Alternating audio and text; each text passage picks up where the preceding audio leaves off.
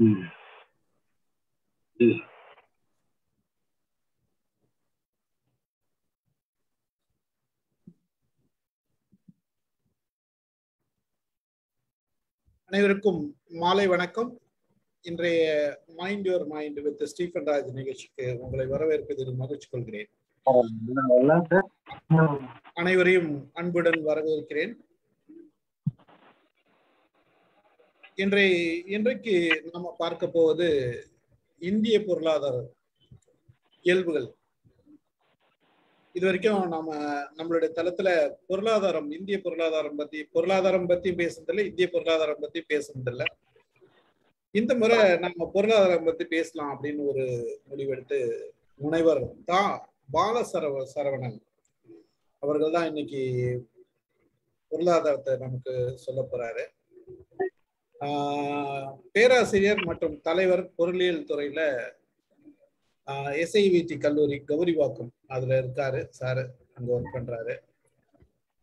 அவரை பத்தி சொல்லணும்னா சென்னை பல்கலைக்கழக பல்கலைக்கழகத்துல தாம்பரத்துல ஒர்க் பண்ற அந்த காலேஜ் இது. இதுல வந்து திருச்சி பாரதிதாசன் ஆஹ் கல்லூரியில முனைவர் பட்டத்தை பெற்றிருக்காரு. அமுதம் என்ற மாத இதழில் சிறப்பாசிரியரா இருக்காரு. இருநூத்தி பத்தொன்பதுல சிறந்த ஆசிரியர் க- ஆசிரியர் குவான் விருதினை லயன்ஸ் கிளப் மூலியமா வாங்கியிருக்காரு.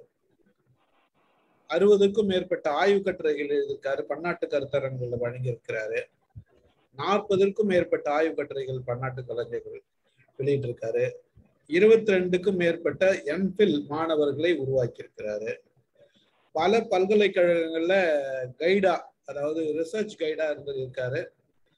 ஆஹ் உயர்கல்வியின் முப்பார முப்பரிமாண கொள்கைப்படி நான்கு சுற்றுக்குள் மன மாணவர்களுக்கான பயிற்றுவித்தல் அதாவது டீச்சிங் ஆராய்ச்சி பணியும் டீச்சிங்கும் மற்றும் விரிவாக்கத்துறைக்கான என் மற்ற விஷயங்கள் என் NSS RR RRC consumer club Rotary club environment club placement போன்ற எல் பல துறைகளில் அவர் பணி அவருடைய மற்ற நேரங்களும் செலவிடுறாரு. இப்படி பன்முக திறமையாளராக இருக்கிறாரு. ஆசிரியர் மற்றும் பேச பேராசிரியர் சங்கங்களுக்கு மாநில பொறுப்புகளில் இருந்து அவர்களுடைய பிரச்சனைகளை தெரிந்து வைக்கக்கூடியவராகவும் இருக்கிறாரு.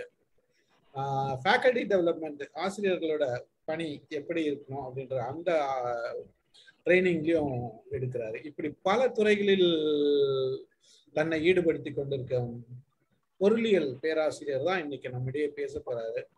இந்திய பொருளாதாரம் இயல்பான சூழ்நிலையில் எப்படி இருக்கு? நம்ம வாழ்க்கையில பொருளாதாரம் ரொம்ப முக்கியம். ஆனா நாம சம்பாதிக்கிறோம் செலவு பண்றோம் எல்லாம் பண்றோம். இந்த பொருளாதாரத்தை எப்படி அடிப்படையா நம்ம கையாளுறோம் அப்படின்றது ஒரு அவசியமான ஒன்று. இது எல்லாருக்கும் முறையா தெரியுதா? நாம முறையா தான் பயன்படுத்துறோமா? இன்றைய சூழ்நிலையில எப்படி இருந்தா நல்லா இருக்கும்? இந்த மாதிரி பல கருத்துக்களை வழங்குவாருன்னு நான் நினைக்கிறேன். இந்த மேடை திரு பாலசுப்ரமணிய பாலசரவணன் சார் அவர்களுக்கு நீங்கள் உங்கள் உரையை ஆரம்பிக்கலாம். சார் நீங்க பேசலாம் இப்ப. உங்க மைக் ஆன் பண்ணிடுங்க. அனைவருக்கும். உங்க வீடியோ ஆன்ல இல்லையா?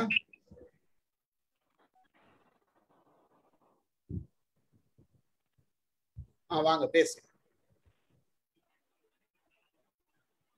பண்ணுங்க அனைவருக்கும் மாலை வணக்கம். முதலிலே இந்த வாழ்க்கை இயக்குனர் திரும்ப சிபன் சிக்மன் சிகாமணி அவர்களுக்கு என்னைய மனமார்ந்த நன்றியை தெரிவித்துக் கொள்கின்றேன். இந்த வலைவழியிலே இங்கே வந்திருக்கின்ற வந்திருக்கின்ற பல்வேறு நண்பர்களுக்கும் என்னுடைய வாழ்த்துக்களையும் நன்றியும் தெரிவித்துக் கொள்கின்றேன். இன்றைய தலைப்பு இந்திய பொருளாதாரத்தின் இயல்புகள். ஒரு சாதாரண மனிதனும் புரிந்து கொள்ளக்கூடிய வகையிலே இந்த இந்திய பொருளாதாரம் என்றால் என்ன? அதனுடைய இயல்புகள் என்ன? இந்திய பொருளாதாரம் எந்த இலக்கை நோக்கி கொண்டு கொண்டிருக்கின்றன? போன்ற பல விஷயங்கள் இங்கே உங்களிடம் பகிர்ந்து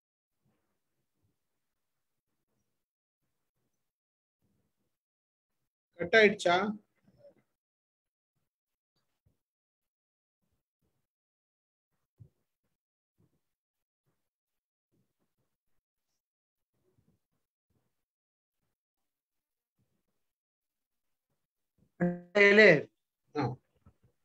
ஒரு ஒரு தனி மனிதனுடைய வாழ்விலும் ஒரு நிறுவனத்தினுடைய அந்த நடவடிக்கையிலும் சமூகத்தினுடைய செயல்பாடுகளிலும் செயல்பாடுகளும் பொருளாதாரம் என்பது கட்டாயமான ஒன்று. The economic activity individual a firm, a society, a nation at large is essential. இங்கே means are limited, wants are unlimited.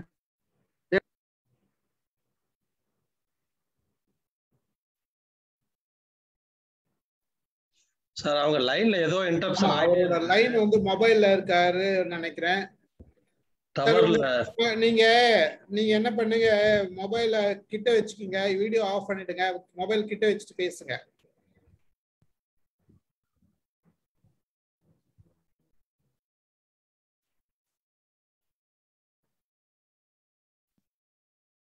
Video off பண்ணிடுங்க நீங்க பரவாயில்ல. நீ மொபைல மட்டும் கிட்ட வாய் கிட்ட வச்சுட்டு பேசுங்க. மைக் ஆன் பண்ணுங்க. உனக்கு மைக் ஆன் பண்ணுங்க.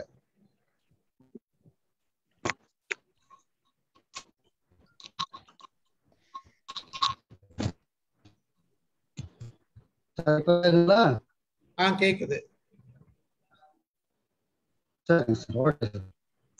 பேசுங்க.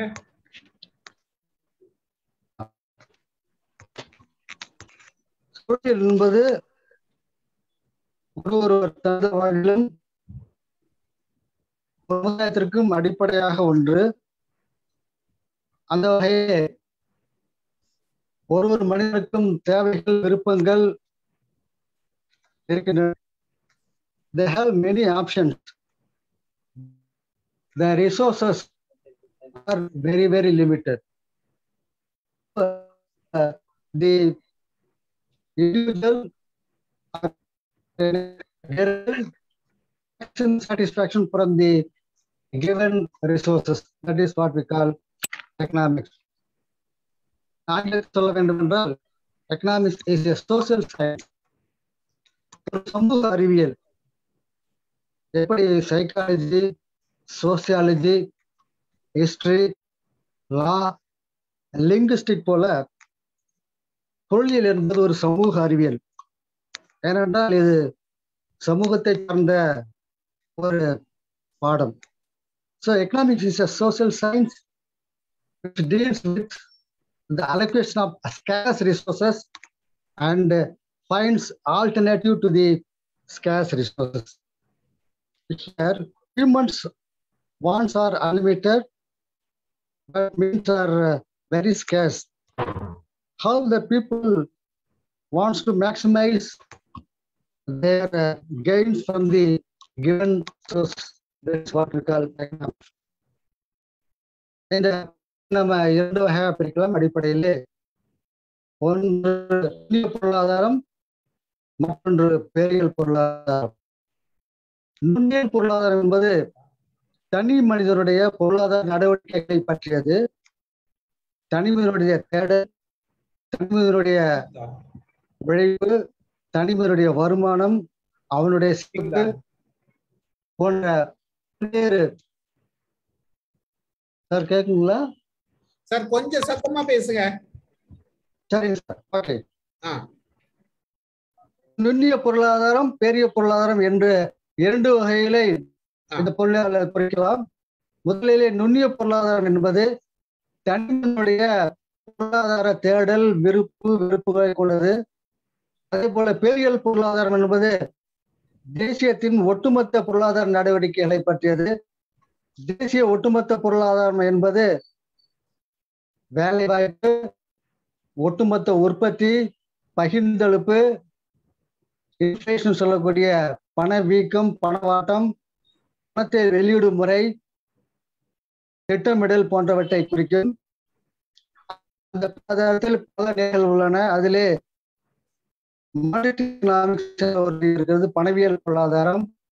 இந்த பணவியல் பொருளாதாரம் பணம் எப்படி அச்சடிப்பது பணத்தை எப்படி வெளியிடுவது வங்கிகள் செயல்பாடுகள் ரிசர்வ் பேங்க் ஆஃப் இந்தியா சொல்லக்கூடிய மத்திய வங்கியுடைய செயல்பாடுகளை அவைகள் ஆயும் நிதியியல் பொருளாதாரம் என்ற ஒரு இந்த நிதியியல் பொருளாதாரம் பப்ளிக் ஃபைனான்ஸ் என்று சொல்வார்கள். இந்த நிதியியல் பொருளாதாரம் ஒரு நாடு வேண்டும் என்றால் அதற்கு அடிப்படையிலே ரெவன்யூ வருமானம் வேண்டும். ஈட்டக்கூடியது நிதியியல் பொருளாதாரம். அடுத்து பொருளாதாரம் என்று இருக்கிறது.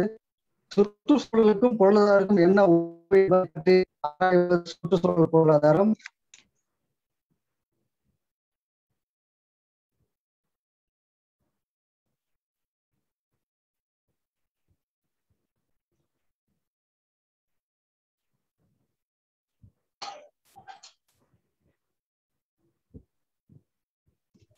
ப்ரொஃபசர் சார் கொஞ்சம் இல்ல அவரோட அவ- அவரோட கனெக்ஷன் சரியில்லைன்னு நினைக்கிறேன் நானு. சார் உங்க சார், இப்ப connection- ஆ. உலக அளவிலே பொருளாதாரத்தினை மூன்று வகைகளாக பிரிக்கலாம். முதலாளித்துவ பொருளாதாரம் இரண்டாவது சோசியலிசம் என்ற சமதர்ம பொருளாதாரம் மூன்றாவது மிக்சட் எக்கானமி என்று சொல்லக்கூடிய இரண்டு நிலையிலும் முதலாளித்துவ பொருளாதாரம் மற்றும் சமதர்ம பொருளாதாரம் என்று சேர்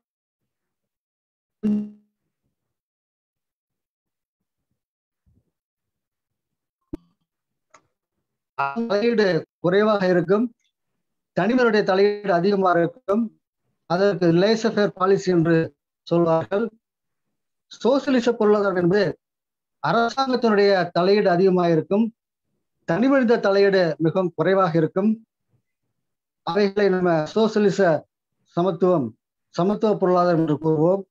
அடுத்தது கலப்பு பொருளாதாரம் என்று கலப்பு பொருளாதாரம் என்பது முதலாளித்துவமும் சமுதாயமும் இணைந்த ஒரு அமைப்பு. அந்த அமைப்பு உள்ள நாடுகளிலே முக்கியமான நாடு ஒன்று என்றால் அது இந்தியா தான். முதலாளித்துவ பொருளாதாரத்தை கையாளக்கூடிய நாடுகளிலே அமெரிக்க ஐக்கிய நாடுகள் கனடா இங்கிலாந்து நாடுகள் அந்த வரிசையிலே வரும். சமூக பொருளாதாரத்தை கையாளப்பட்ட நாடுகளிலே முதலில் இருப்பது சைனா கியூபா போன்ற நாடுகள் அடங்கும். கலப்பு பொருளாதாரத்திலே கையாள்வதிலே மிகச்சிறந்த நாடுகளில் ஒன்றாக இந்தியா திகழ்ந்து கொண்டிருப்பது என்பதை நாம் ஒவ்வொருவரும் அறிவோம். இன்றைக்கு இந்த நாடுகள், வளர்ந்துவிடும் நாடுகள் மூன்றாம் பிந்தைய நாடுகள் என்று மூன்று வகையாக பிரிக்கலாம். அந்த நாடுகள் வரிசை வளைந்த நாடுகள் என்று சொல்லும் பொழுது வளங்களை முழுமையாக பயன்படுத்தக்கூடிய நாடுகளை தொழில்நுட்பம் அதிகமாக உள்ள நாடு வளங்களை முழுமையாக பயன்படுத்தக்கூடிய நாடுகளை நாம் வளர்ச்சியந்த நாடுகள் என்று சொல்லலாம். அந்த நாடுகளுக்கு உதாரணமாக நாடுகள் ஜப்பான் போன்ற நாடுகளை நாம் சொல்லலாம். வளர்ந்து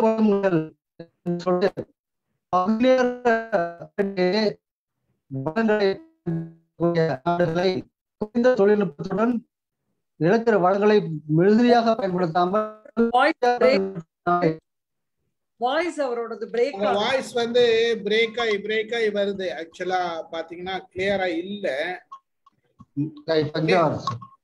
ஏதோ சிக்னல் ப்ராப்ளமா இப்ப வருதா சார் இப்ப ஓரளவுக்கு வரும்னு நினைக்கிறேன். சார் நீங்க கொஞ்சம் டவர் டவர் கிடைக்கிற மாதிரி இடத்துல உட்கார்ந்து பேசினா கொஞ்சம் கிளியரா இருக்கும்னு நினைக்கிறேன். Clear signal. கிடைக்கிற மாதிரி இடத்துல உட்காருங்க. உட்காந்து நீங்க ரூம்ல இருந்தீங்கன்னா சில இடத்துல. வராது. ஓகே ஓகே இப்போ வருதா சார் ஆ. சார் ஓகே திரும்பவும் நான் நீங்க டெலிபோன் போனை வந்து வாய்க்கிட்டே வச்சுக்கின்னு பேசுங்க. நல்லாவே கேட்கும். நல்லது சார் நல்லது சார் சரிங்க.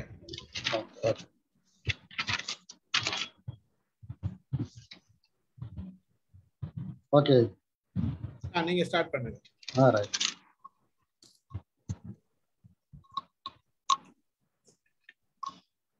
கிடைப்பதற்கரிய மாற்று பயன்பாடு உள்ள வளங்களை கொண்டு மனிதர்கள் தமது எண்ணிலடங்கான தேவைகளை நிறைவு செய்யும் நடைப்புகளை ஆராயும் அறிவியலே பொருளியல் என்று கூறுகிறார்கள். அந்த கிடைப்பதற்கரிய பொருள் என்பதை நாம் ஸ்கேஸ் ரிசோர்சஸ் அப்படிங்கிறோம். மனிதனுடைய ஆசைகள் தேவைகள் விருப்பங்கள் ஏராளம். அவைகளை அடைவதற்கு மனிதன் கிடைக்கிற பொருளை எப்படி பயன்படுத்தி நிறைவு கொள்கிறான் என்பது பொருளாதாரத்தின் அடிப்படை தத்துவமாகும். எல்லாருக்கும் எல்லாமே கிடைத்துவிட்டால் பொருளாதாரத்தினுடைய சித்தாந்தம் தேவையில்லை. ஆகவேதான் நாம் பொருளாதாரத்தை ஒரு அறிவியலாக நாம் கருதி என்னென்ன பொருள் நமக்கு பற்றாக்குறையாக இருக்கின்றனவோ அவற்றை தொழில்நுட்பத்தை கொண்டு அதிகரித்து சாய்ஸ் பேஸ்டு ப்ரையாரிட்டி பேஸ்டு யார் யாருக்கு என்ன தேவையோ அவர்களுக்கு பரிந்தளிக்கக்கூடிய வகையிலே செயல்படுவதுதான் பொருளாதாரம். இந்த பொருளாதாரத்தை நாம் உலக அளவிலே இந்த சித்தாந்தத்தின் அடிப்படையிலே மூன்று வகையாக பிரித்திருக்கின்றோம். ஒன்று முதலாளித்துவ பொருளாதாரம் இரண்டாம் சமதர்வ பொருளாதாரம் மூன்றாவது மிக்சடு எக்கானமி சொல்லக்கூடிய கலப்பு பொருளாதாரம். கலப்பு பொருளாதாரத்தினுடைய அடிப்படை கூறுகள் இந்தியாவில் இருக்கின்றன. ஏனென்றால் நாம் ஒரு பக்கம் முதலாளித்துவ கொள்கைகளையும் மறுபக்கம் கேபிட்டலிஸ்ட் சோசியலிசம் என்று சொல்லக்கூடிய அந்த கொள்கைகளையும் இரண்டையுமே நாம் பயன்படுத்தி ஒரு பொருளாதார மேம்பாட்டை அடைவதற்காக முயற்சி எடுத்துக்கொண்டு வருகின்றோம். உலக அளவிலே நம்முடைய நாடுகளை மூன்று வகையாக பிரிக்கின்றோம். ஒன்று வளர்ச்சியடைந்த நாடுகள் இரண்டாவது வளர்ந்து வரும் நாடுகள் மூன்றாவது குறைந்த தலா வருமானம் உள்ள பின்தங்கிய நாடுகள். மூன்றாம் உலக நாடுகள் ஆர் மூன்றாம் நிலை நாடுகள் என்று மூன்று நாடுகளாக நாம் பிரித்து வருகிறோம். வளர்ச்சியடைந்த நாடுகள் என்று கூறும் பொழுது அந்த நாடுகளிலே வளங்களை human resource as well as material ரிசோர்ஸை முழுமையாக பயன்படுத்த நிலையை நாம் பார்க்கின்றோம். தொழில்நுட்பத்தை முழுமையாக பயன்படுத்தி உச்சநிலை அடைகின்றோம். அந்த வகையிலே குறிப்பிட்டு சொல்ல வேண்டிய நாடுகள் அமெரிக்க ஐக்கிய நாடுகள் கனடா பிரான்ஸ் இங்கிலாந்து ஜப்பான் போன்ற நாடுகளை நாம் உதாரணமாக கூறலாம்.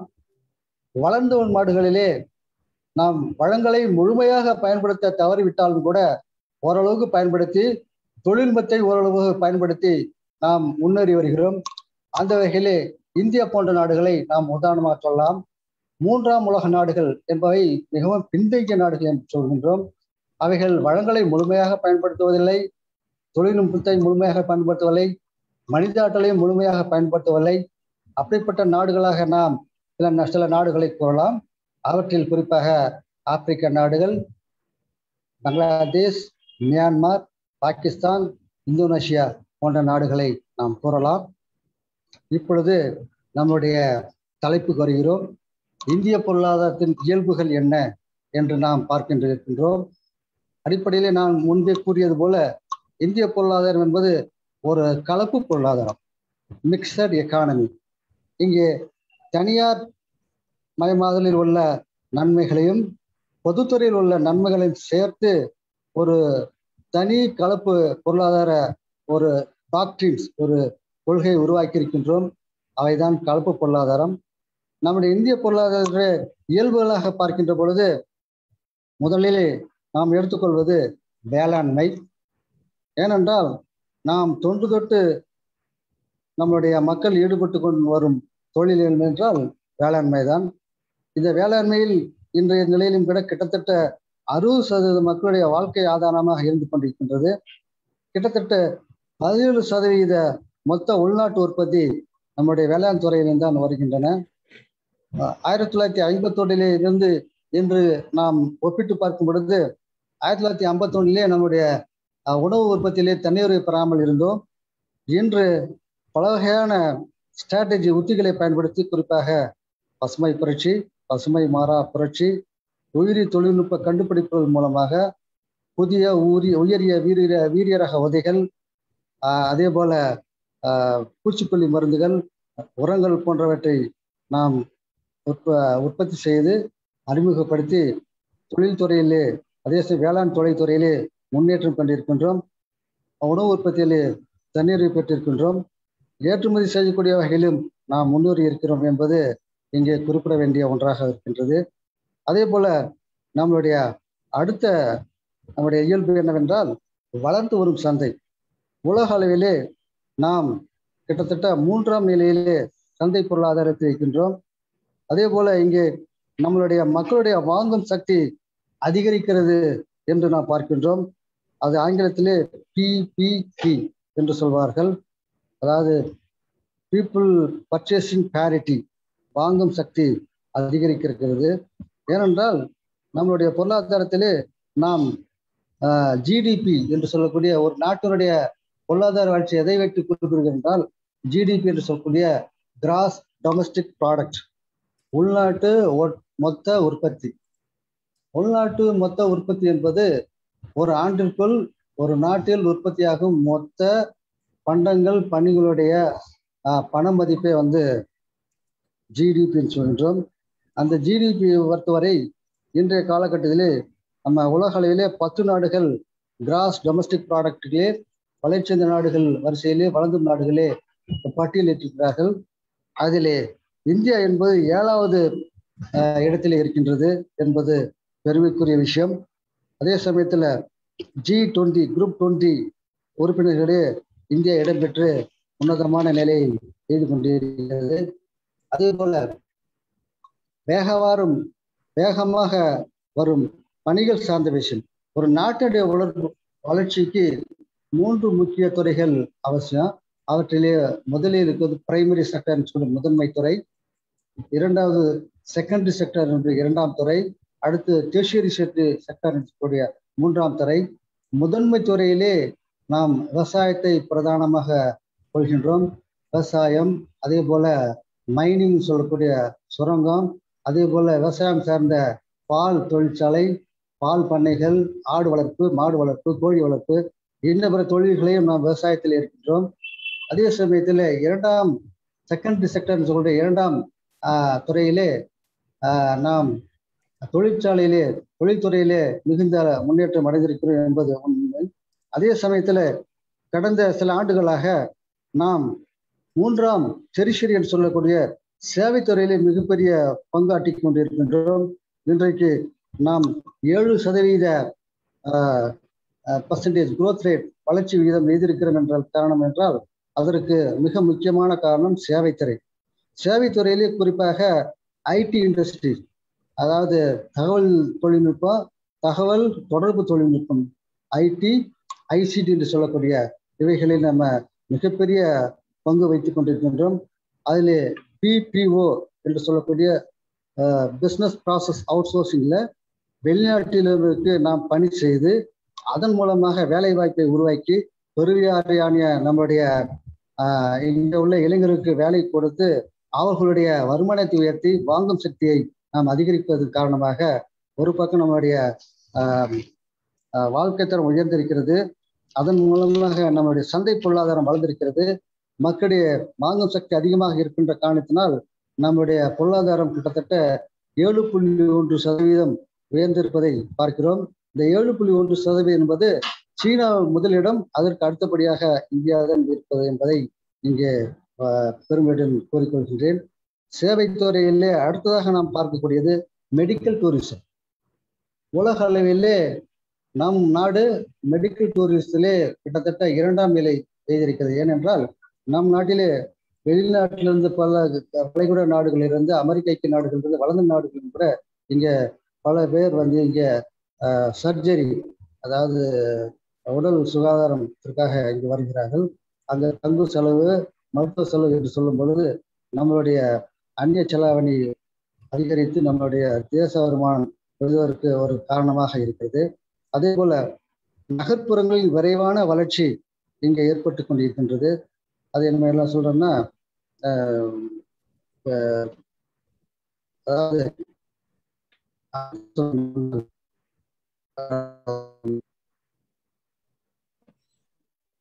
அர்பனைசேஷன் சொல்றோம். Sorry urbanisation.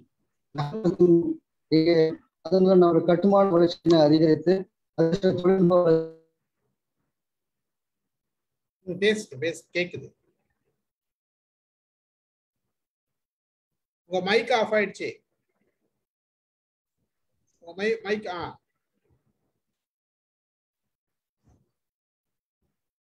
இல்ல மறுபடியும் மறுபடியும் அன்மியூட் பண்ணுங்க. மியூட் ஆயிடுச்சு.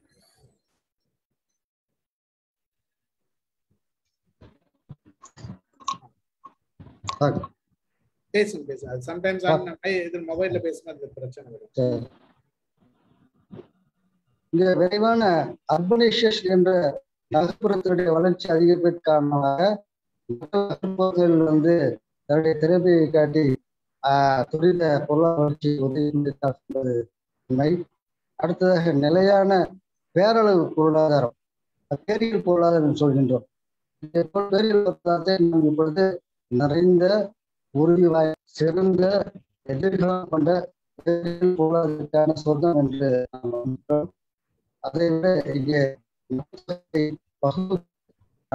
ஒரு இந்திய பொருளாதாரத்தின் இயல்புகளாக பார்க்கிறோம்.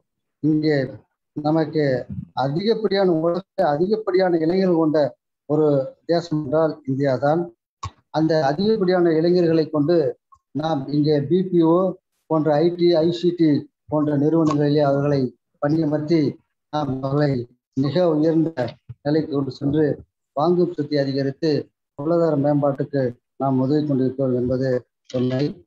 அதே வேளைகளே இங்கே சில பலவீனங்களும் இந்தியாவில் இருக்கின்றது. அந்த பலவீனங்களை பட்டியலிடுவதிலே நான் வருத்தம் அடைகின்றேன். அதிலே முதலாவதாக அதிக மக்கள் தொகை. உலக அளவிலே சீனாவுக்கு அடுத்தபடியாக மக்கள் தொகை கொண்ட நாடு இந்தியா என்று திகழ்கிறது. இந்த மக்கள் தொகை வளர்ச்சி விகிதம் என்பது ஒன்று புள்ளி ஏழு சதவீதம் ஆகும். இந்த ஒன்று புள்ளி ஏழு சதவீதம் என்பது ஆஸ்திரேலியாவினுடைய மக்கள் தொகை தொகைக்கு சமமாக இருக்கிறது என்பதுதான் உண்மை. அடுத்தபடியான ஒரு பலவீனம் என்றால் ஏற்றத்தாழ்வு உள்ள ஒரு அரசாங்கமாக இந்த இந்திய அரசாங்கம் விளங்கிக் கொண்டிருக்கிறது. என்ன பல வகையான திட்டங்கள் நாம் தீட்டினாலும் கூட வறுமை தொடர்ந்து கொண்டிருக்கிற ஒரு நிலையை பார்க்கின்றோம். ஏழைகள் ஏழைகளாகவும் பணக்காரர்கள் பணக்காரர்களும் ஆகிக்கொண்ட ஒரு நிலையை நாம் பார்த்து கொண்டிருக்கிறோம். ஒரு ஏற்றத்தாழ்வு மிகுந்த ஒரு தேசமாக இந்திய தேசம் இருக்கிறது. அதற்கு காரணங்கள் பல. அதில் குறிப்பாக ஜாதி அடிப்படையிலான ஏற்றத்தாழ்வுகள் வருமான பகிர்வுல ஏற்றப்பாடுகள் ஏழை பணக்காரன் என்ற ஏற்றப்பாடு ஏற்றத்தாழ்வு என்று பல நிலைகள் இருக்கின்றன. அவற்றை போக்குவதற்கு அரசாங்கம் பல திட்டங்களை தேடினாலும் அதற்கு அடிப்படையிலே இன்னமும் கூட கிட்டத்தட்ட முப்பது சதவீத மக்கள் எழுத்துறையற்றவர்களாக இருக்கிறார்கள். இந்த எழுத்துறையை போய்தான் நம்முடைய அரசாங்கம் ஒரு உயர்ந்த பொருளாதார நிலை அடைந்து வளர்ச்சியான நாடாக உருவாகும் என்பது ஆஹ், அடுத்ததாக அத்தியாவசிய பண்டங்களுடைய விலை உயர்வு ஒரு மிகப்பெரிய பிரச்சனையாக என்று ஏற்பட்டிருக்கிறது. அதை சரி செய்தாலே நம்முடைய மக்களுடைய வாங்கும் சக்தி அதிகரித்து அதன் மூலமாக அவர்களுடைய வாழ்வாதாரம் உயரும். இங்கே நாம் பார்க்கக்கூடியது நம்முடைய வேலை வாய்ப்பை உருவாக்கும் திறனிட்ட நிலையில் இருக்கின்றோம். எத்தனையோ இளைஞர்கள் படித்துவிட்டு வேலை இல்லாமல் இருக்கிறார்கள். அவர்களை சரியான பதவியில் அமர்த்தி அவர்களுக்கு வேலை நிலை கொடுக்கக்கூடிய நிலையில் நம்முடைய அரசாங்கம் இல்லை என்பதுதான் ஒரு வருத்தற்குரிய விஷயம்.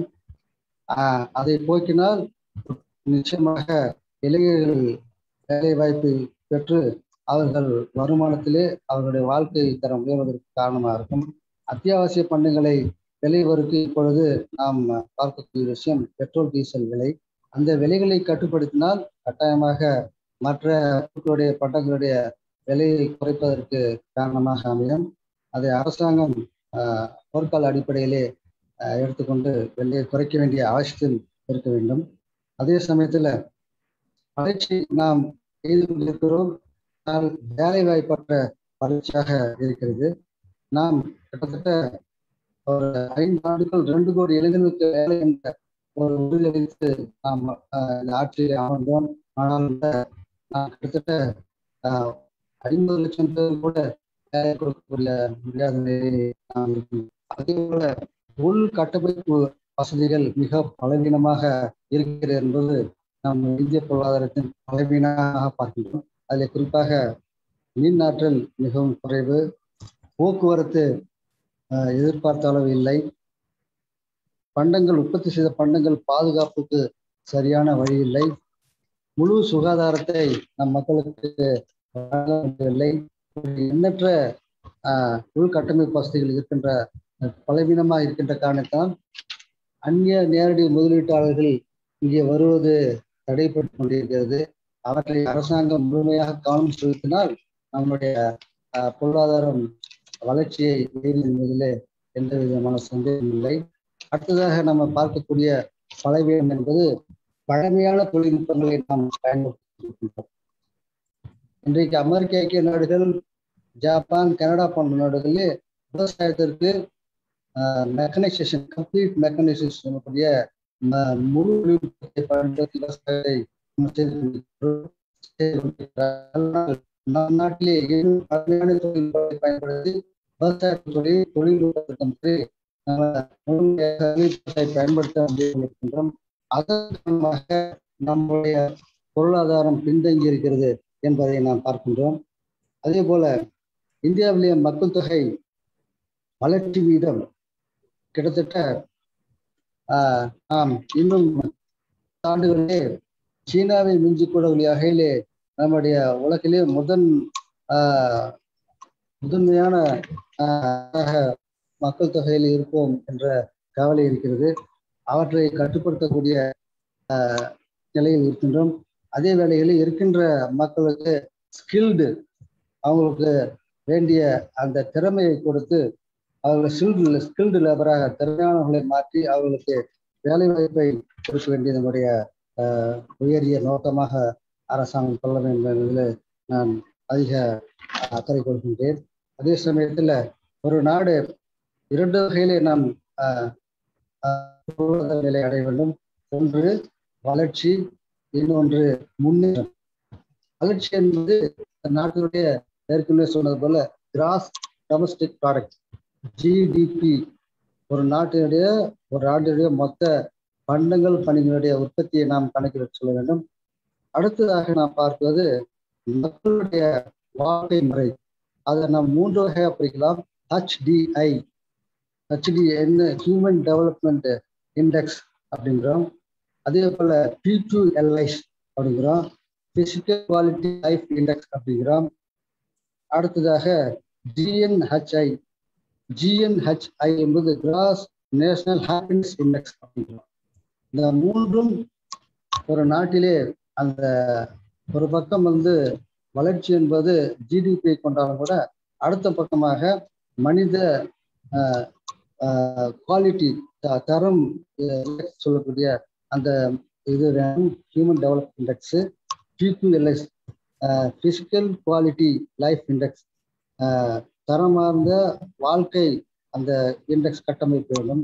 அதே போல gross national happiness index gross national happiness index அப்படிங்கிறது ஆயிரத்தி தொள்ளாயிரத்தி எழுபத்தி ரெண்டிலே மியான்மர் நாட்டிலே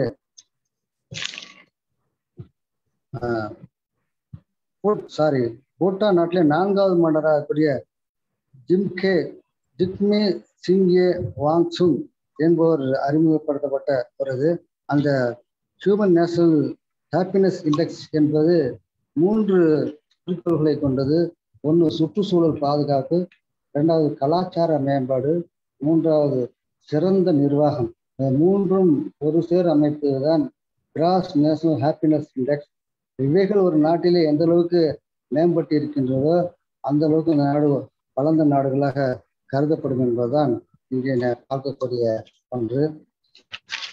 இதில் நாம் இந்திய பொருளாதாரத்தை பொறுத்த வரைக்கும் விவசாயத்திலே நாம் பின்தங்கி இருக்கின்றோம். நாட்டிலே மூன்று முக்கிய கட்டமைப்புகள். வந்து பிரைமரி செக்டர் சொல்லக்கூடிய விவசாயம் இரண்டாவது இண்டஸ்ட்ரீஸ் மூன்றாவது சர்வீஸ் செக்டர் என்று சொல்லக்கூடிய மூன்று ஒன்று ஒன்று பின்னி படைக்கப்பட்டிருக்க வேண்டும்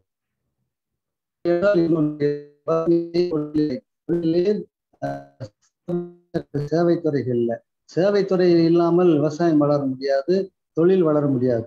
இந்த மூன்று துறைகளும் ஒன்று ஒன்று நெருங்க நெருங்கிய தொடர்புடையது. ஆனால் இன்றைக்கு நாம் விவசாயத்திற்கு மிக குறைந்த ஆஹ், பங்கீடு அவர்களுக்கு முக்கியத்துவம் கொடுக்கின்றோம். ஏனென்றால் விவசாயிகளுடைய விளைபொருளுக்கு நல்ல விலை கிடைக்கிறது என்று மிகப்பெரிய சோகத்தில் இருக்கிறார்கள். They unable to secure their fair price for their product அதனால் அவங்களுடைய விலை சரியா பொருளுக்கு சரியான விலை கிடைக்காத காரணத்தினால் அவர்கள் சில சமையலே இண்டப்ட் கடன் சுமைக்கு ஆளாகி இறுதியே அவர்கள் சூசைட் பண்ணக்கூடிய அளவுக்கு தற்கொலை செய்யக்கூடிய அளவுக்கு சென்று கொடுக்கிறார்கள் அவர்களுக்கு பல வகையிலே அரசாங்கம் நிதி உதவிகளை கடன் உதவிகளையும் கடன் வசதிகளும் அவர்களுக்கு வழங்க வேண்டியது அவசியமாகிறது அதே சமயத்தில் தொழில்துறைக்கு வேண்டிய தொழில் முயல்களை உருவாக்குவ கையிலே தொழில்துறைக்கு முக்கியத்துவம் வழங்க வேண்டும். மூன்றாவது நாம் ஐடி செக்டர் என்றக்கூடிய சேவை துறையிலே சில துறைகளுக்கு நாம் முக்கியத்துவம் வழங்க வேண்டும். எத்தனையோ கல்லூரிகளே கல்லூரிகளிலே பள்ளிகளிலே ஆசிரியர்களற்ற நிலை இருக்கின்றது. ஆசிரியர்கள் திறம்பட்ட ஆசிரியர்களை அங்கே அப்பாயிண்ட் செய்து வேலையை கொடுத்து மாணவர்களுடைய கல்வி வளர்ச்சி மேம்பட்டால் ஒரு நாடு முன்னேற முடியும் அந்த வேலை வசதி வளர்ச்சி கல்வி என்பது அடிப்படையான ஆதாரம் ஒன்று. அது சட்டத்தின் முன்பாக கட்டாயமான ஒன்று. எத்தனையோ ஐந்து வயது நிறைந்த ஒருவரும் கல்வி கற்க வேண்டும். கல்வி கற்பது மட்டுமல்லாமல் அவர்கள் குறைந்தபட்சம் எட்டாவது வரை கல்வி கற்று அவர்கள் இந்த சமுதாயத்திற்கு உதவ வேண்டும். Education is a process which brings desirable changes in human mind சொல்லுவாங்க எந்த நாடு கல்வியில உயர்ந்திருக்கிறதோ அந்த நாடு தான் பொருளாதாரத்தில் முன்னேற முடியும். நம்ம நாட்டிலே கிட்டத்தட்ட பொருளாதார வளர் கல்வி வளர்ச்சியிலே மிக குறைந்த நிலையிலே இருக்கின்றோம். அதிலே குறிப்பாக கிட்டத்தட்ட ஆயிரத்தி தொள்ளாயிரத்தி ஐம்பத்தி ஒண்ணுல இருந்து ரெண்டாயிரத்தி ஒன்று வரை பார்த்தோம் என்றால் நம்முடைய நூறு சதவீத எழுத்து என்பது எட்டாக்கணியாக இருக்கிறது. அவற்றை முழுமையான கல்வி பெறுவதற்கு நாம் அதிக கவனம் செலுத்த வேண்டும். கல்வித்துறைக்கு அதிக மானியம் ஒதுக்க வேண்டும். அதே சமயத்தில் சுகாதாரத்துறைக்கும் அதிக மானியம் ஒதுக்க வேண்டும். கிட்டத்தட்ட ஆயிரத்தி தொள்ளாயிரத்தி தொண்ணூத்தி ஒன்பதுல தொண்ணூத்தி ஒண்ணுல முதல் முதலாக புதிய கல்விக் கொள்கை என்றை உருவாக்கினோம்.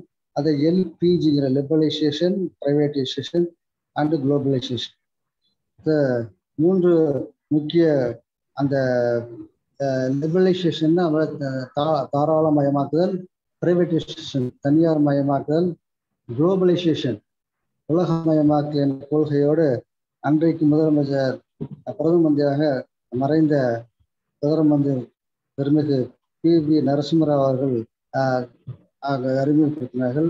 அன்றைக்கு திரு. மன்மோகன் சிங் அவர்கள் பொருளாதார ஆஹ், துறை மந்திரியாக இருந்து இந்த திட்டங்களை எடுத்தார்கள். அதன் விளைவாக இன்றைக்கு நாம் ஓரளவுக்கு பொருளாதாரத்திலே முற்பட்டிருக்கின்றோம் என்பது மறக்க முடியாத உண்மை. ஆகவே நம்முடைய பொருளாதாரம் என்பது மிக உயர வேண்டும் என்றால் நான் ஏற்கனவே குறிப்பிட்ட அந்த குறைபாடுகளை கலைந்து சீரிய முறையிலே மக்களுக்கு ஜே- ஜான் மெனாட் கீன்ஸ் என்பவர் பேரியல் பொருளாதாரத்தின் தந்தை.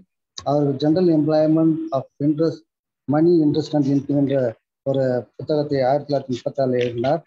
அதிலே அவர் குறிப்பிடுவது ஒரு நாடு வளர வேண்டும் என்றால் நாட்டுடைய மக்களுடைய வாங்கும் சக்தி அதிகரிக்க வேண்டும் என்று கூறுகிறார் எந்த அளவுக்கு ஒரு நாட்டுடைய மக்களுடைய வாங்கும் சக்தி அதிகரிக்கிறதோ அந்த அளவுக்கு அந்த நாடு முன்னேற முடியும் என்பது மறுக்க முடியாத ஒன்று. அப்ப வாங்கும் சக்தி அதிகரித்தால் நாம் அதிகப்படியான தொழிற்சாலை உருவாக்கி பொருட்களை உற்பத்தி செய்வோம். பொருட்களை உற்பத்தி செய்வதன் மூலமாக நிறைய பேற்றுக்கு நம்ம வேலை வாய்ப்பை உருவாக்க முடியும். நிறைய பேர்த்துக்கு வேலை வாய்ப்பை உருவாக்கும் மூலம் அவங்களுடைய வாழ்க்கை தரம் உயரு அப்படின்னு சைக்கிளிக்கலாக நம்ம போயிட்டு இருக்கிறத பார்க்குறோம். ஸோ அந்த வகையிலே நம்மளுடைய நாட்டிலே இருக்கின்ற இளைஞர்களுக்கு அதிகப்படியான வேலை வாய்ப்பை வழங்குவதற்கு அரசாங்கம் முக்கிய பங்கு வகிக்க வேண்டும்.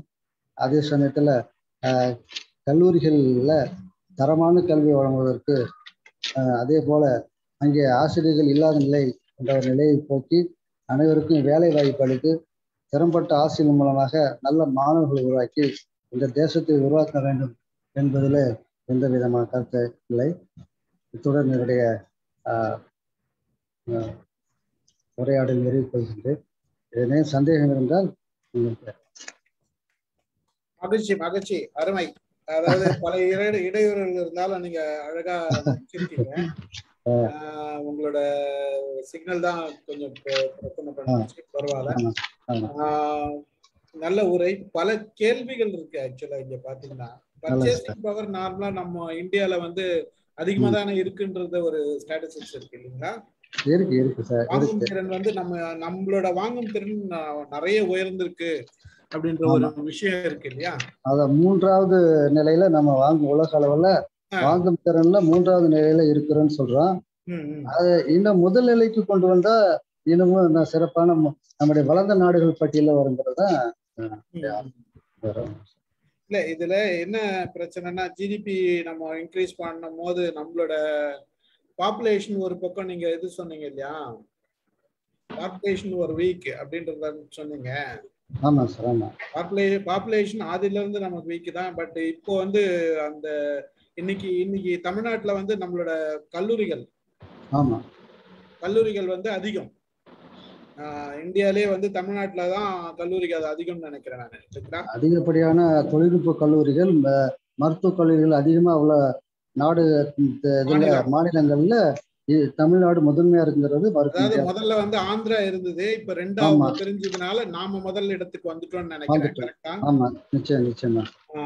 அதுதான். அப்போ நம்மளோட என்ன தொழில்நுட்ப கல்லூரிகள் அதிகமா இருக்கு. ஆனா வந்து வே நம்ம எஜுகேஷன் குவாலிட்டி தான் நமக்கு பிரச்சனையா இருக்குன்னு நினைக்கிறேன். நிச்சயமா சார்.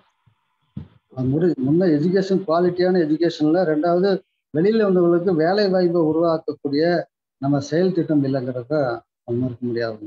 இப்ப நம்ம மக்களா என்ன செய்யலாம்? அதாவது கவர்மெண்ட்டுக்கு அரசாங்கத்திட்ட நாம வந்து பொருளாதாரத்தை உயர்த்துறதுக்கு பல வழிகள் அவங்க மேம்படுத்துறாங்க. மக்கள் வந்து என்ன பண்ணலாம்? அவங்க உங்களோட பொறுப்பு என்ன? ஒரு பொருளாதாரம் மேம்படணும்னா மக்கள் வந்து ஒரு நாட்டுக்கு பொருளாதாரம் மேம்படணும்னா மக்களோட பொறுப்பு என்னவா இருக்கும்? மக்கள் அவர்கள் வந்து எந்த பொருளையுமே அவர்கள் வீணடிக்காம செலவு பண்ணுங்கிறது ஒன்று தேவையில்லாத நம்ம வாங்குற காட்டில் அத்தியாவசிய பொருட்களை வாங்கணுங்கிறது நம்ம பார்க்குறோம் அதே சமயத்தில் படித்த இளைஞர்களுடைய ஆண்டர்பனியர் ஸ்கில் அவங்களுடைய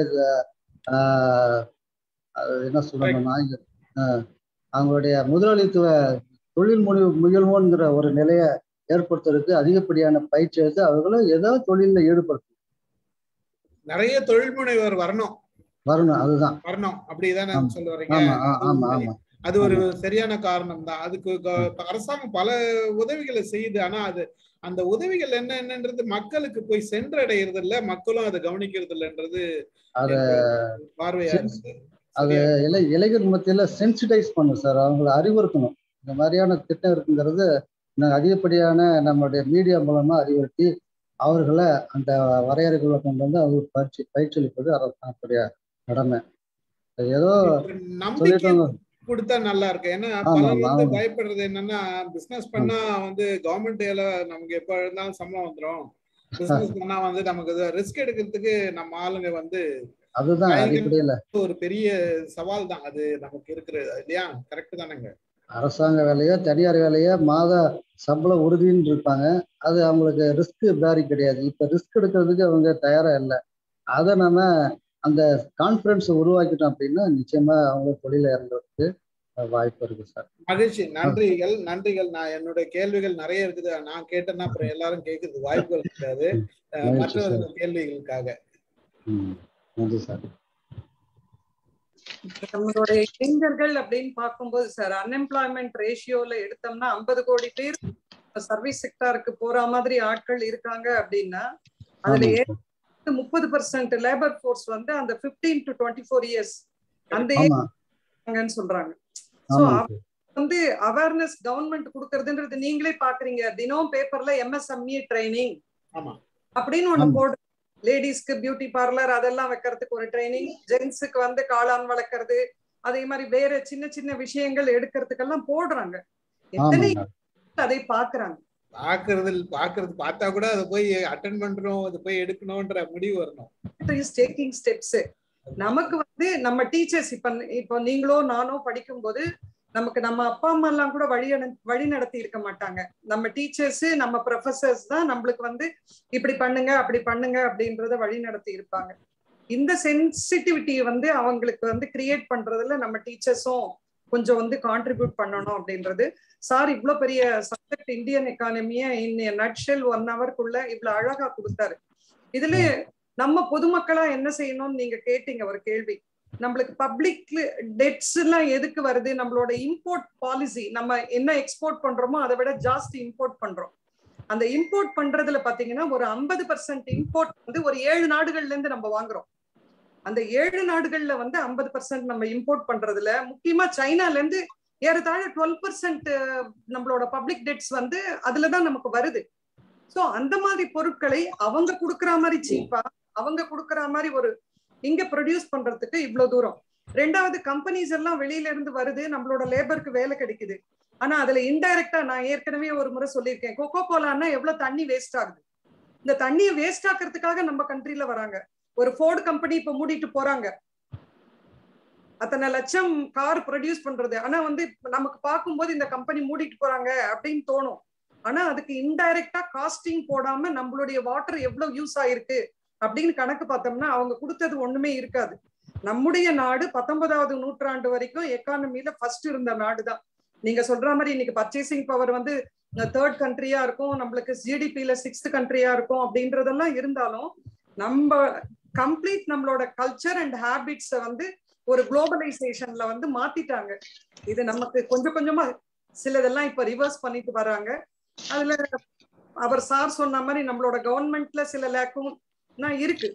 அது நிறைய இண்டஸ்ட்ரீஸ் வர்றதுலயோ நம்ம லேபர் இது பண்றதுலயோ சில லேக்கம் இருக்கு.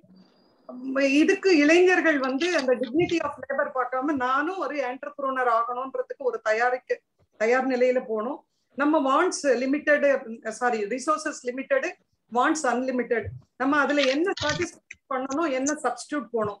அது ஃபர்ஸ்ட் சொன்னார் சார் இது நம்ம கிளியரா இருக்கணும். இன்னைக்கு எல்பிஜி நைன் ஹண்ட்ரட் ருபீஸ் ஒரு சிலிண்டர் வாங்குறோம். எத்தனை பேர் வீட்டுல வந்து வேஸ்ட் வெஜிடபிளும் வேஸ்ட் ஃபுட்டையும் வந்து த்ரோ பண்ணிட்டு இருக்கிறோம் இதுக்கு நமக்கு வந்து ஒரு கேஸ் போட்டுக்கலாம். Just like gobar gas that is available so இது மாதிரி எல்லாம் வந்து மக்கள் மாத்தி யோசிக்கிறதுக்கான வாய்ப்புகள் எல்லாம் வந்து கொஞ்சம் திங்க் பண்ணணும் எல்லாருமே. இல்லத்தரசிகளும் சரி வெளியில இருக்கவங்களும் சரி ஜென்ஸும் சரி பண்ணோம்னா நம்முடைய இந்தியன் எக்கானமி வந்து இன்னைக்கு இளைஞர் ஃபோர்ஸ் நம்மகிட்ட தான் இருக்கு. நம்ம தான் வந்து labour supplier for all countries இன்னைக்கு யூஏஇ எல்லாம் எடுத்தோம்னா forty percent people from Tamil Nadu and Kerala தான் ஒர்க் பண்றாங்க அங்க. என்ஜினியர்ஸ் ஆகட்டும் மற்றவங்களாகட்டும் அதனால நமக்கு நம்மளுடைய பொட்டன்ஷியலை நம்ம ரியலைஸ் பண்றதுக்கு எக்கானமியை க்ரோத் பண்றதுக்கும் கொஞ்சம் இப்ப சார் சொன்ன மாதிரி அது வந்து பயிர் முளையிலே தெரியுன்ற மாதிரி அந்த இளைஞர்கள் கூட்டத்தை வந்து சென்சிடைஸ் பண்ணி கொடுக்கணும். நானும் எக்கனாமிக்ஸ் படிச்சதுனால I I thought I can contribute this thank you sir thank you madam madam madam சொன்னது போல அந்த காலேஜ்லயே வந்து ஒரு கேம்பஸ் இன்டர்வியூ சொல்றோம் பிளேஸ்மெண்ட் சொல்றோம். அதுக்கு வந்து இது மாதிரி ஒரு ஆண்டர்பிரினர் டெவலப்மெண்ட்டுக்கு ஒரு செல்லு வச்சு அவங்கள என்கரேஜ் பண்ணி ரைட் ஃப்ரம் காலேஜ்லயே அவங்களுக்கு ட்ரெயின் பண்ணி அவங்கள வெளியில கொண்டு வந்தா நல்லா இருக்கும் ஸ்டீஃபன் கால் விழுதா? நான் கொஞ்சம் கேட்டுக்கிறேன். ஏன்னா இவர்கிட்ட நிறைய அடிக்கடி கேள்விகள் நான் காலேஜ்ல கேட்டு பழக்கம். இருந்தாலும் இப்ப இது மூலமா எல்லாரும் காதுல விழுற மாதிரி ஒரு கேள்வி கேட்கிறேன். கேளுங்க சார். அது பொருளாதார உற்பத்தி அப்படின்னு சொல்லும் பொழுது நாங்க சுற்றுச்சூழல் என்ன பண்றோம்? பொருளாதாரம் உயர உயர சுற்றுச்சூழல் தாழ்வடைதுங்கிறது அது ஒரு நிலை. அதாவது வந்து விரைவில் பொருளாதார முன்னேற்றம் அடைய வேண்டும் என்ற நிலையில் சுற்றுச்சூழல் மாசடைகிறது அப்படின்றது நாங்கள் ஒரு கருத்து எடுத்து வைக்கிறோம். அதுக்காக தான் நாங்கள் என்ன பண்ணுறோம் இந்த சஸ்டைனபிள் டெவலப்மெண்ட்டுன்னு சொல்கிறோம் டெவலப்மெண்ட் இருக்க வேண்டியதான் இட் மஸ்ட் பி சஸ்டைனபிள் அது என்ன சொல்லணும்னா ரெடியூஸ் ரீயூஸ் ரீசைக்கிள் இந்த மூணு இருந்தால் தான் சஸ்டைனபிள் டெவலப்மெண்ட் வரும். இப்போ நல்லா டெவலப் ஆகுது அப்படின்றோம். இப்போ விவசாயத்தை பொறுத்த வரைக்கும் டெவலப் ஆகணும் அப்படின்னு சொல்லிட்டு தான் அந்த கிரீன் ரெவல்யூஷன் கொண்டு வந்தார். நான் எம்எஸ் சுவாமிநாதன்ட்டே நேராக பேசின ஒரு மாநாட்டுக்கு வரும்போது கிட்டத்தட்ட ஒரு சான்ஸ் வந்து என்னங்க நீங்கள் வந்து விவசாயத்தை உற்பத்தி பண்ணிட்டு பண்ணீங்க எல்லாம் பூச்சி மருந்தெல்லாம் இது பண்ணீங்க உரத்தை பண்ணீங்க கடைசியில் மண்ணுடைய தரம் குறைஞ்சி போச்சு இப்போ உற்பத்தியும் குறைஞ்சி போச்சு. அப்படின்ற கேள்வியை இது எனக்கு ஐ வாஸ் லக்கி டு மீட்டிங்கும் எம்ஆ எஸ்ஆர்எம் யூனிவர்சிட்டியில் ஒரு ஒரு மாநாடு உலக தழுவிய மாநாடு நடந்தது. அதில் பேசினேன் அவர் என்ன சொன்னார்? அப்போ இருந்த நிலவரம். அதாவது அப்போ வந்து இப்போ உணவு தேவைப்பட்டது பற்றாக்குறை வந்துடும் பஞ்சம் வந்துடும் தான் செய்கிறோம் இப்போ வந்து நாம் வந்து ஆர்கானிக் ஃபார்மிங் பண்ணி ஆகணும் அப்படின்றார். இந்த ஆர்கானிக் ஃபார்மிங்ன்றது இப்போ நம்ம it is the way of life இப்போ இனிமேல் ஆர்கானிக் ஃபார்மிங் பண்ணுறதால இப்போ வந்து மண்ணுடைய தரமும் உயரும். மனிதனுடைய இந்த இந்த செலவு குறைஞ்சிடும் அதாவது வந்து உடல் உபாதைகள் செலவும் குறைஞ்சிடுது. அப்போ பொருளாதாரம் கூடுறதுக்கு சான்ஸ் இருக்கு. அதனால இந்த இவர் இவரை நான் என்ன கேட்குறேன்னா இப்போ நம்ம இப்போ இந்த பொருளாதார நிபுணர் பாலசரவணன ஒரே ஒரு கேள்வி. நீங்கள் பொருளாதாரம் உயரணும் அப்படின்னு சொல்றீங்க. பொருளாதாரம் வந்து எந்த ஸ்பீடில் உயரணும்? அதாவது அதாவது அது ரொம்ப உயரும் பொழுது மாசு அடையுது. அந்த மாசு அடையாத வந்து பொருளாதாரம் உயர்வை பற்றி ஒரு வார்த்தை சொல்லுங்க. எனக்கு என்னன்னா மாசு அடையக்கூடாது. வேகமா ஓடுறோம் விழாம ஓடினா தானே இலக்கு அடைய முடியும். வேகமா ஓடுறேன்னு சொல்லி கீழே விழுந்தாலும் அந்த இலக்கு அடைய முடியாது. அதுக்கு என்ன நீங்க வச்சிருக்கீங்க? அது சொல்லுங்க மிஸ்டர் பாலசரவணன். உங்களுடைய கேள்வி அருமையான கேள்வி. நீங்க கேட்கறது நீடித்த நிலைத்த சுற்றுச்சூழல் இருக்கணுங்கிறீங்க. Economic development at cost of environment தான். ஆ. சுற்றுச்சூழல்ல பொருளாதாரம் இல்ல. அந்த சுற்றுச்சூழல்ல அந்த வளங்களை வந்து குறிப்பிட்ட அளவு அதனுடைய தன்மை கெடாமல் நம்ம பயன்படுத்தி அதற்கு எந்த விதமான மாசு இல்லாம அதை பயன்படுத்தி நம்ம பொருளாதார முன்னேற்றத்துக்கு பயன்படுத்தணும். இப்போ விவசாயத்தை பொறுத்த வரைக்கும் இப்போ ஆர்கானிக் ஃபார்மிங் இப்போ ஆரம்பிச்சிட்டோம். நிறைய கண்ட்ரீஸ்ல அதை வந்து சட்டப்பூர்வமாக்கிட்டாங்க. அதே போல நம்ம நாட்டிலேயே வந்து நம்முடைய அடிப்படையா எழுபது சதவீத மக்கள் வந்து விவசாயத்தில் ஈடுபட்டிருக்கும் பொழுது அவர்களை வந்து கெமிக்கல் ஃபெர்டிலைசர்ஸ் பெஸ்டிசைட்ஸ் யூஸ் பண்றதை காட்டிலுமே அவங்களுடைய பயோ ஃபெர்டிலைசர்ஸ் உயிர் உரத்தை பயன்படுத்தி விவசாயம் பண்றதுக்கு ம். அவங்க நடைமுறைப்படுத்தலாம். கால்நடைகளுடைய வளர்ச்சி அதிகரிக்கிறதுக்கு அவங்க ஊக்கப்படுத்தலாம். அப்ப. அவங்களுக்கு எழு தொழு உரம் கிடைக்கும் போது ஆட்டோமேட்டிக்கா நம்மளுடைய மண்ணை பாதுகாக்க முடியும் சுற்றுச்சூழலை பாதுகாக்க முடியும். அதே சமயம் தொழில்நுட்பத்தில் நம்மளுடைய இப்ப நம்ம இன்ஸ்டெட் ஆஃப் டெக்னிக்கல்ல கேபிட்டல் இன்டென்சிவ் காட்டி லேபர் இன்டென்சிவா நம்ம செய்ய முடியும். காந்தி சொன்னது போல நம்ம உயர் தொழில்நுட்பத்தை பயன்படுத்த காட்டில அஹ், சிறந்த குறைந்த தொழில்நுட்பத்தை வைத்து மக்களை பயன்படுத்தி நம்மளுடைய பொருளாதார மேம்பாட்டுக்கு அவங்கள வருமான நம்மளுடைய வளர்ச்சிக்கு நம்ம உதவ முடியும். அதான் நல்ல நல்ல அருமையான கருத்தை சொன்னீங்க. இதுல என்னன்னா இப்ப லேட்டஸ்டா என்ன ஒரு ரிசர்ச்னா அமேசான் ஃபாரஸ்ட் தான் வந்து இட் இஸ் கார்பன் சிங்க் அப்படின்றாங்க. அதாவது ஒரு கார்பன் அதாவது கார்பன் காத்துல இருக்கிற கார்பன் டை ஆக்சைட்லாம் நிறைய உறிஞ்சக்கூடிய ஒரே காடு வந்து அமேசான் காடுகள்ன்றோம். இப்ப அந்த அமேசான் காடுகள்ல இருந்து அதிகமா இப்ப கார்பன் எமிஷன் ஆக ஆரம்பிச்சிது. என்ன காரணம்னு சொல்றாங்கன்னா அதாவது வந்து நீங்க வந்து விவசாயத்துக்காக இப்ப வந்து ஃபாரஸ்ட் ஃபயரை நீங்க கிரியேட் பண்றீங்க விவசாயத்துக்காக. அப்புறம் வந்து அந்த மாடுகள் ஆடுகள்லாம் வளர்க்கறதுக்காக தேவைன்னு சொல்லிட்டு எல்லாம் வந்து அந்த காடுகளை அழிக்கிறீங்க. இப்போ என்ன ஆச்சுன்னா அந்த அமேசான் ஃபாரஸ்ட்ல இருந்து நிறைய கார்பன் எமிஷன் ஆகுது. இதனால வந்து அதிகமா கார்பன் எமிஷன் ஆகுதுன்றோம். இப்போ இதுல என்ன முக்கியமான பயன் இருக்கிற விவசாயத்தை இருக்கிற மண்ணை வந்து கெடுத்து போயிட்டு இல்லாத ஒண்ணுக்கு போய் அது சுற்றுச்சூழலை கெடுத்து அந்த மாதிரி செய்ய வேண்டிய அவசியம் இல்லை. நான் இந்த மீடியா மூலமா என்ன சொல்ல விரும்புறேன்னா இருக்கிற விவசாயத்துல நல்லா ஆர்கானிக் விவசாயம் பண்ணுங்க மண் தரத்தை கூட்டுங்க.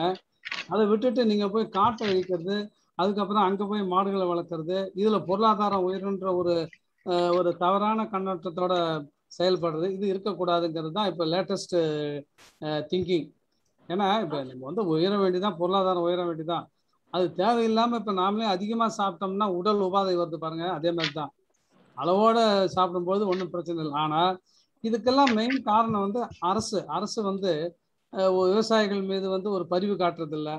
அரசு வந்து ஒரு ஏழு- ஒரு ஒரு ஒரு உலகத்திலே இல்லாத அதாவது இந்தியாவில் வந்து இத்தனை மாசமா போராடுறாங்க. அவங்களுக்கு எந்த விதமான கருணையும் காட்டாம அது ஒரு க- ஒரு பாராமுகமா இருக்கிறது. இதெல்லாம் தேவையில்லாதது அது. மக்களை இப்போ விவசாயிகளை கூப்பிட்டு வச்சு உங்களுக்கு என்ன ஆர்கானிக் விவசாயமா? அதுக்கு நாங்கள் இவ்வளோ தரோம். அதுக்கு வந்து இப்போ பூச்சி மருந்து ஆர்கானிக் பூச்சி மருந்து தரோம். இந்த மாதிரிலாம் ஒரு இது ஒரு ஒரு என்ன எல்லாம் இப்போ ஒரு ஒரு ஒரு அரசாங்கன்றது இது அரசாங்கம் தன்னுடைய செயல்பாடு செயல் இழந்த நிலையில் இருக்கு இப்போ. அதாவது ஒரு விவசாயிகள் இத்தனை மாசமா போராடுறாங்க உலகத்திலே இல்லாத ஏன்னா இந்தியா முன்னேறணும் பொருளாதாரத்தினா விவசாயம் முன்னேறணும். அந்த விவசாயிகளை துன்புறுத்தி அந்த விவசாயிகளுக்கு தேவையானதை செய்யாததால இப்ப என்ன ஆயிட்டுன்னா இதனுடைய இம்பாக்ட் இன்னும் கொஞ்ச நாள் போனாதான் தெரியும். அது இம்பாக்ட் இப்ப தெரியாது. அதுக்குள்ள அவங்க பதவி விட்டு போயிடுவாங்க. அதாவது இப்ப இருக்கிற ஆட்சியாளர்கள் வந்து இப்போ நாம நம்ம பேர் நிலைக்கணுங்கிறதுக்காக அவங்க செய்யணும். அதை விட்டுட்டு நாம இருக்கிற வரைக்கும் அவங்கள வந்து அடக்குமுறையில் இது பண்ணிடலாம். அப்புறம் நம்ம போனதுக்கு அப்புறம் வர்றவங்க பார்த்துப்பாங்க. இப்படியா ஒரு அப்ரோச் இருக்கு. ஆளுகின்றவர்களுக்கு எதுக்கு அவங்கள இந்த நாட்டை ஆள வச்சோம்? எதுக்கு நாட்டில் வந்து அவங்கள வந்து ஏன்னா அவங்க நல்லா செய்வாங்க அப்படின்ட்டு. கா- தீவிரம் காட்டுறது எப்படி இருக்கணும்னா அது வந்து ப்ரைவேட்டைசேஷன் நிறையா வந்துட்டு இருக்கு ப்ரைவேட்டைசேஷன்ல என்ன வளர்ச்சி வந்துட போகுது? ப்ரைவேட்டைசேஷன்ல வளர்ச்சி இருக்கும். அந்த குறிப்பிட்ட மனிதர்கள் தான் வளருவாங்க. ஆனால் மக்கள் பொதுவாக வளரணும் அப்போதான் உற்பத்தி. உற்பத்தி எப்படி வரும்? ஸோ அந்த உற்பத்தியை பத்தி யாருமே திங்க் பண்ணல. மன்மோகன் சிங் இருந்தப்ப ரொம்ப சூப்பரா இருந்தது. அவர் அழகா நல்லா பண்ணாரு. இப்ப வர வர குறைஞ்சிருக்கு. அதுக்கு ரீசன் யாரும் நான் பர்டிகுலரா ஒருத்தவங்களை குறை சொல்லல. இந்த அரசு ஒட்டு மொத்தமா நல்லா பண்ணணும். இப்ப வெளிநாட்டுலாம் பாருங்க எவ்வளவு அழகா பண்றாங்க.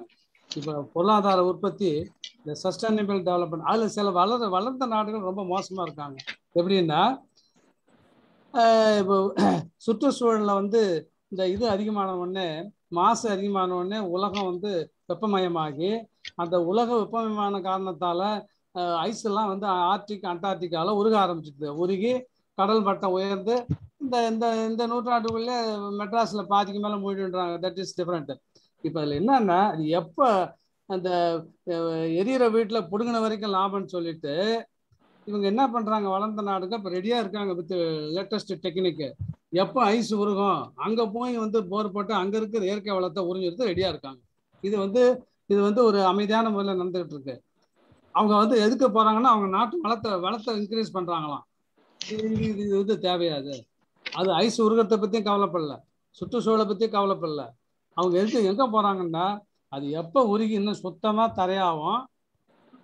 இங்க முழுகினா பரவாயில்ல. அதுல போய் அவங்க வந்து அதுல எல்லா வளர்ந்த நாடுகள்லாம் வந்து ரெடியா இருக்கு. ஏன்னா அவங்களுடைய டெக்னிக்கல் டெக்னிக்கல் லோகோ வச்சுக்கிட்டு அங்கே ஏன்னா வளங்கள் நிறையா இருக்குது அவ்வளோ நிறையா இருக்குது தங்கம் இருக்கு வைடூரி இது இது இருக்கு கறி இருக்கு எப்படி என்னமோ இருக்கு. அவ்வளோ அதெல்லாம் எடுக்கிறதுக்காக எண்ணெய் இருக்கு. அந்த வளத்தை எடுக்கிறதுக்காக எனக்கு என்ன ஒரு சந்தேகம்னா இது வேண்டுமென்றே தூண்டி விட்டதா கூட கூட இருக்கலாம் இப்ப. சுற்றுச்சூழல் மாசு இது இது வந்து தூண்டி விட்டதா கூட இருக்கலாம்னு எனக்கு இப்போ எனக்கே ஒரு doubt as a environmentalist I think twice இது ஏன் இப்படி ஆகுது? இப்போ வந்து uh, ஃபாரஸ்ட் ஃபயரே வந்து மனிதன் வைக்கிறான்றான் தீ. ஃபாரஸ்ட் ஃபயர் இயற்கையாக உருவாகும். எப்படின்னா அந்த இது வரும் மின்னல் மின்னும் இடி இடிக்கும் அதில் கூட ஃபாரஸ்ட் ஃபயர் வரது சான்ஸ் இருக்கு. அது அந்த அளவுக்கு பெருசாக இருக்காது. இவன் அணைக்க முடியாத அளவுக்கு ஃபாரஸ்ட் ஃபயர் பண்ணுறான் இவன். ஏன்னா இப்போ வேறு செட்டில் சீக்கிரம் அணைக்க முடியாது. அதில் ஒரு ஆயிரம் ஏக்கர் நமக்கு கிடைச்சிரும் அப்புறம் திரும்ப அது எப்போ வளர்றது? ஒரு காடு உருவாகிறதுக்கு ஒரு லட்சம் வருஷம் ஆகுதுங்க. ஒரு ஃபுல் ஃப்ளைட்டு ஃபாரஸ்ட் வந்து ஒரு ஒரு லட்சம் வருஷம் ஆகுது. அப்புறம் இவன் தான் கொளுத்துட்டான். என்ன ஒரு லட்சம் வருஷம் எங்கே இருக்க போது நம்ம எப்படி பிரித்து கொடுத்துருவான்? அதில் வந்து விவசாயம் பண்ணலாம் அது பண்ணலாம் மாடு வளர்க்கலாம். இருக்கிறதுல மாடு வளர்க்க முடியல. இருக்கிற தரிசு நிலத்துல வந்து விவசாயம் பண்ணலாம். அடுத்தது வந்து உப்பு உப்பு மண் இருக்கு பாருங்க அதுல விவசாயம் பண்ணலாம். அந்த டெக்னிக்கல் நோக்கம் இது பண்ணிட்டு செய்யாம ஒவ்வொரு நாடும் இப்படி போட்டி போட்டு கொண்டு இருக்காங்க இப்ப ஒரு விழிப்புணர்வு வந்து ஓரளவுக்கு வருது. நானும் என்னுடைய என்னுடைய நூலில் வந்து சுற்றுச்சூழல் விழிப்புணர்வும் சுகமான வாழ்வும் அப்படின்ற நூலை இப்போ வெளியிட போகிறேன் அந்த நூலுக்கு வந்து இப்போ அமெரிக்க வாஷிங்டனில் இருக்கிற தமிழ் பல்கலைக்கழகத்தில் அவார்டு அடுத்த வாரம் வாங்குறேன். அந்த நூல் வர்றதுக்கு முன்னாடி அவார்டு வருது. நூல் வந்து வந்துட்டு தான் அவங்க நேரம் அனுப்புனாங்க வருது. அதில் நான் விளக்கமாக நான் குறிப்பிட்டிருக்கேன். அதில் இரண்டு பாடல்கள் மூலமும் சொல்லியிருக்கேன். திரும்ப வந்து என்னுடைய என்னுடைய ஆட்டோபயோகிராஃபியில் அதாவது என்னுடைய வாழ்க்கையில் சுற்றுச்சூழல் எப்படி இருக்கணுங்கிறதெல்லாம் பத்தி என்னுடைய வாழ்க்கை நிலையோடு சேர்ந்து அஹ் சொல்லியிருக்கேன் எல்லாத்தையும். அந்த அந்த புத்தகம் வந்து வெளியீட்டு விழா நம்ம ஸ்டீஃபன் தான் ரொம்ப இன்ட்ரெஸ்டாக இருக்காரு. அதனால இது எதுக்கு நான் சொல்றேன்னா இது வரைக்கும் நான் எத்தனையோ அஞ்சு புக்கு எழுதியிருக்கேன். எல்லாம் சுற்றுச்சூழலை பற்றி தான். இந்த சுற்றுச்சூழலை வந்து நீங்க வந்து சரியா கவனிச்சுக்கிட்டே முன்னேறும்போது தான் அந்த பொருளாதாரம் முன்னேற்றம். அதுக்கு தான் நான் சொல்ல வரேன். அதாவது எப்படின்னா சுற்றுச்சூழலை வந்து கவனிக்கிறதே கிடையாது யாருமே.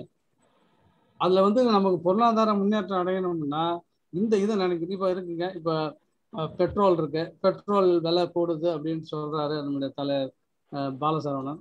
இப்போ அந்த பெட்ரோலை நீங்கள் எடுக்கும் பொழுது சுற்றுச்சூழல் மாசடையுது. இப்போ நீங்கள் வந்து தங்கம் எடுக்கிறீங்க வைரம் எடுக்கிறீங்க அப்போ அங்கேருந்து உள்ளேருந்து இருக்கிற மண் அந்த இதெல்லாம் வந்து வெளியில் வந்து மாசடைஞ்சு விவசாயத்தை செய்கிறாங்க ஸோ இதில் வந்து ஒரு ஒரு லிமிட்டேஷன் இது பண்ணணும் மற்றது அடிப்படையில இருக்கிற விவசாயத்தை முன்னேற்றினாலே நம்ம நாடு முன்னேறிடும். அது இப்போ இருக்கிற ஆட்சியாளர்கள் கண்டுகொள்றது கண்டுகொள்றது இல்லை அதுக்கு தான் அவர் ராமலிங்க அடிகளார் என்ன சொன்னார்னா கருணையில ஆட்சி கடிகை ஒழிக அப்படின்றாரு. அவர் பாடல்ல. அவர் பாடல் என்ன சொல்றாருன்னா கருணையிலா ஆட்சி கடிகை ஒழிக எதுக்கு? மக்களுக்காக தான் வந்த அரசு. எந்த அரசாலும் எந்த நாடா இருந்தாலும் சரி. ஆனா நம்ம நாட்டை தவிர இது எல்லா நாடும் நல்லா தான் இருக்கு. நான் அதை வந்து கணக்கு நானும் அமெரிக்கா போயிருக்கேன். மலேசியா போயிருக்கேன். மலேசியாவுக்கு போயிருந்தப்ப அங்க வந்து ஒரு பசுமை பயணம் சென்றேன் அங்க ஒரு மீட்டிங்ல பேசும்போது அங்க இருக்கும்போது அது பேப்பர்ல நல்லா ஃபிளாஷ் பண்ணாங்க. என்னன்னா வேர்ல்டு ஃபுல்லா என்ன சொல்றது மலேசியன் டிம்பர் மலேசியன் டிம்பர் அது ஒரு பெரிய மரங்களை ஏன் வெட்டுறீங்க? நான் கேட்டேன். ஒரு காடு உருவாகிறதுக்கு ஒரு லட்சம் வருஷம் ஆகுது. அந்த மரத்தெல்லாம் போய் வெட்டி அது அதுக்கு எதுக்கு இந்த பீரோ அது க- ஜன்னலு கதவுலாம் போடுறதுக்கு நல்ல மரத்தெல்லாம் வெட்டி அது ஒரு மரம் வந்து ஒரு மனிதனுக்கு ஒரு வருஷத்துக்கு தேவையான ஆக்சிஜனை கொடுக்குது. அதை போய் வெட்டி அப்போ ஒரு மனுஷனுக்கு ஆக்சிஜன் கிடையாது ஒருத்தன் அவுட்டு. ஒரு பேச்சு சொல்ல ஒரு மரம் வெட்டினீங்கன்னா நீ ஒரு மரத்தை வெட்டல ஒரு ஆளை வெட்டுறன்னு அர்த்தம். அவனுக்கு தேவையான oxygen you are cutting so இப்படி பார்க்கும்பொழுது ஒரு ஒரு ஒரு அப்போ சொல்லும்போது ஃப்ளாஷ் ஆச்சு. அதுக்கப்புறம் அவங்க காடுகளில் இருக்கிற மரங்களை வந்து வெட்டுறதை கொஞ்சம் குறைச்சிக்கிட்டாங்க. ஏன்னா சுற்றுச்சூழல் அவங்களுக்கு பொருளாதார முன்னேற்றம் தான். வெட்டி விற்கிறதுல அதாவது நுனி மரத்துல இருந்துகிட்டு அடி மரத்தை வெட்டக்கூடாது. அதுதான் என்னுடைய கருத்து என்னன்னா சுற்றுச்சூழல் நுனி மரத்துல இருந்துட்டு அடி மரத்தை வெட்டாதீங்க. நீங்க அடி மரத்துல இருந்துட்டு நுனி மரத்தை வெட்டுங்க. அப்போ வந்து அது நமக்கு ஆபத்து இல்லை. ஸோ இதுதான் என்னுடைய கருத்து. நம்ம பாலசரவனுக்கு என்ன ஒரே ஒரு சின்ன கேள்வி என்ன? இதுக்கு ஏதாவது வேற ஏதாவது உங்கள்கிட்ட இது இருக்குதா? அதாவது வந்து சுற்றுச்சூழலுக்கு ஆபத்து இல்லாம பொருளாதாரம் முன்னேறணும். ஏதாவது உங்கள்கிட்ட இருந்தா சொல்லுங்க. அது சொல்லுங்க. ஒரே ஒரு இது. சுற்றுச்சூழல் விஞ்ஞானி அவர்கள் திரும்ப திரும்ப கேட்டாலுமே. இதுல வந்து ஒரு சாதாரணமா இன்றைக்கு வள வளர்ந்த நாடுகள் எல்லாமே சுற்றுச்சூழல் அழிச்சுட்டு தான் முன்னேற்றம் அடைஞ்சிருக்கிறாங்க. ஆமா விதிவிலக்கு இல்ல. ஒரு பக்கம் வந்து குளோபல் வார்மிங் கிளைமேட்டிக் சேஞ்ச் இருக்கு. அதுக்கு நம்ம எந்த வழியும் கண்டுபிடிக்காம சுற்றுச்சூழல் பண்ண முடியாது. ஆமா. நாம வந்து நீங்க சொல்ற ஏற்கனவே சொன்னது போல என்னது குளோபல் திங்கிங் லோக்கல் ஆக்ஷன் அதான் நமக்கு வேணும்.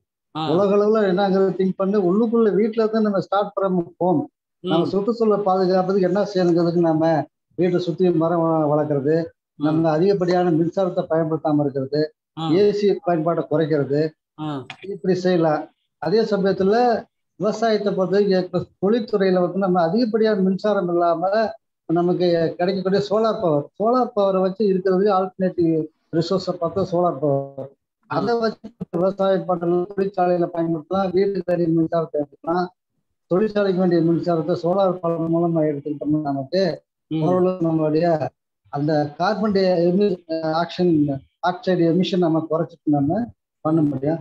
எல்லாருமே ஒரு ஒருத்தர் பிறந்த நாள்ல கட்டாயம் சட்டமாகணும். ஒரு பத்து மரத்தை விடணும் அப்படி செஞ்சோம்னா ஓரளவுக்கு நம்மளுடைய கார்பன் டை ஆக்சைடு குறைஞ்சு நம்மளுடைய ஆக்சிஜன் வெளியில வர்றதுக்கு வாய்ப்பு இருக்கு.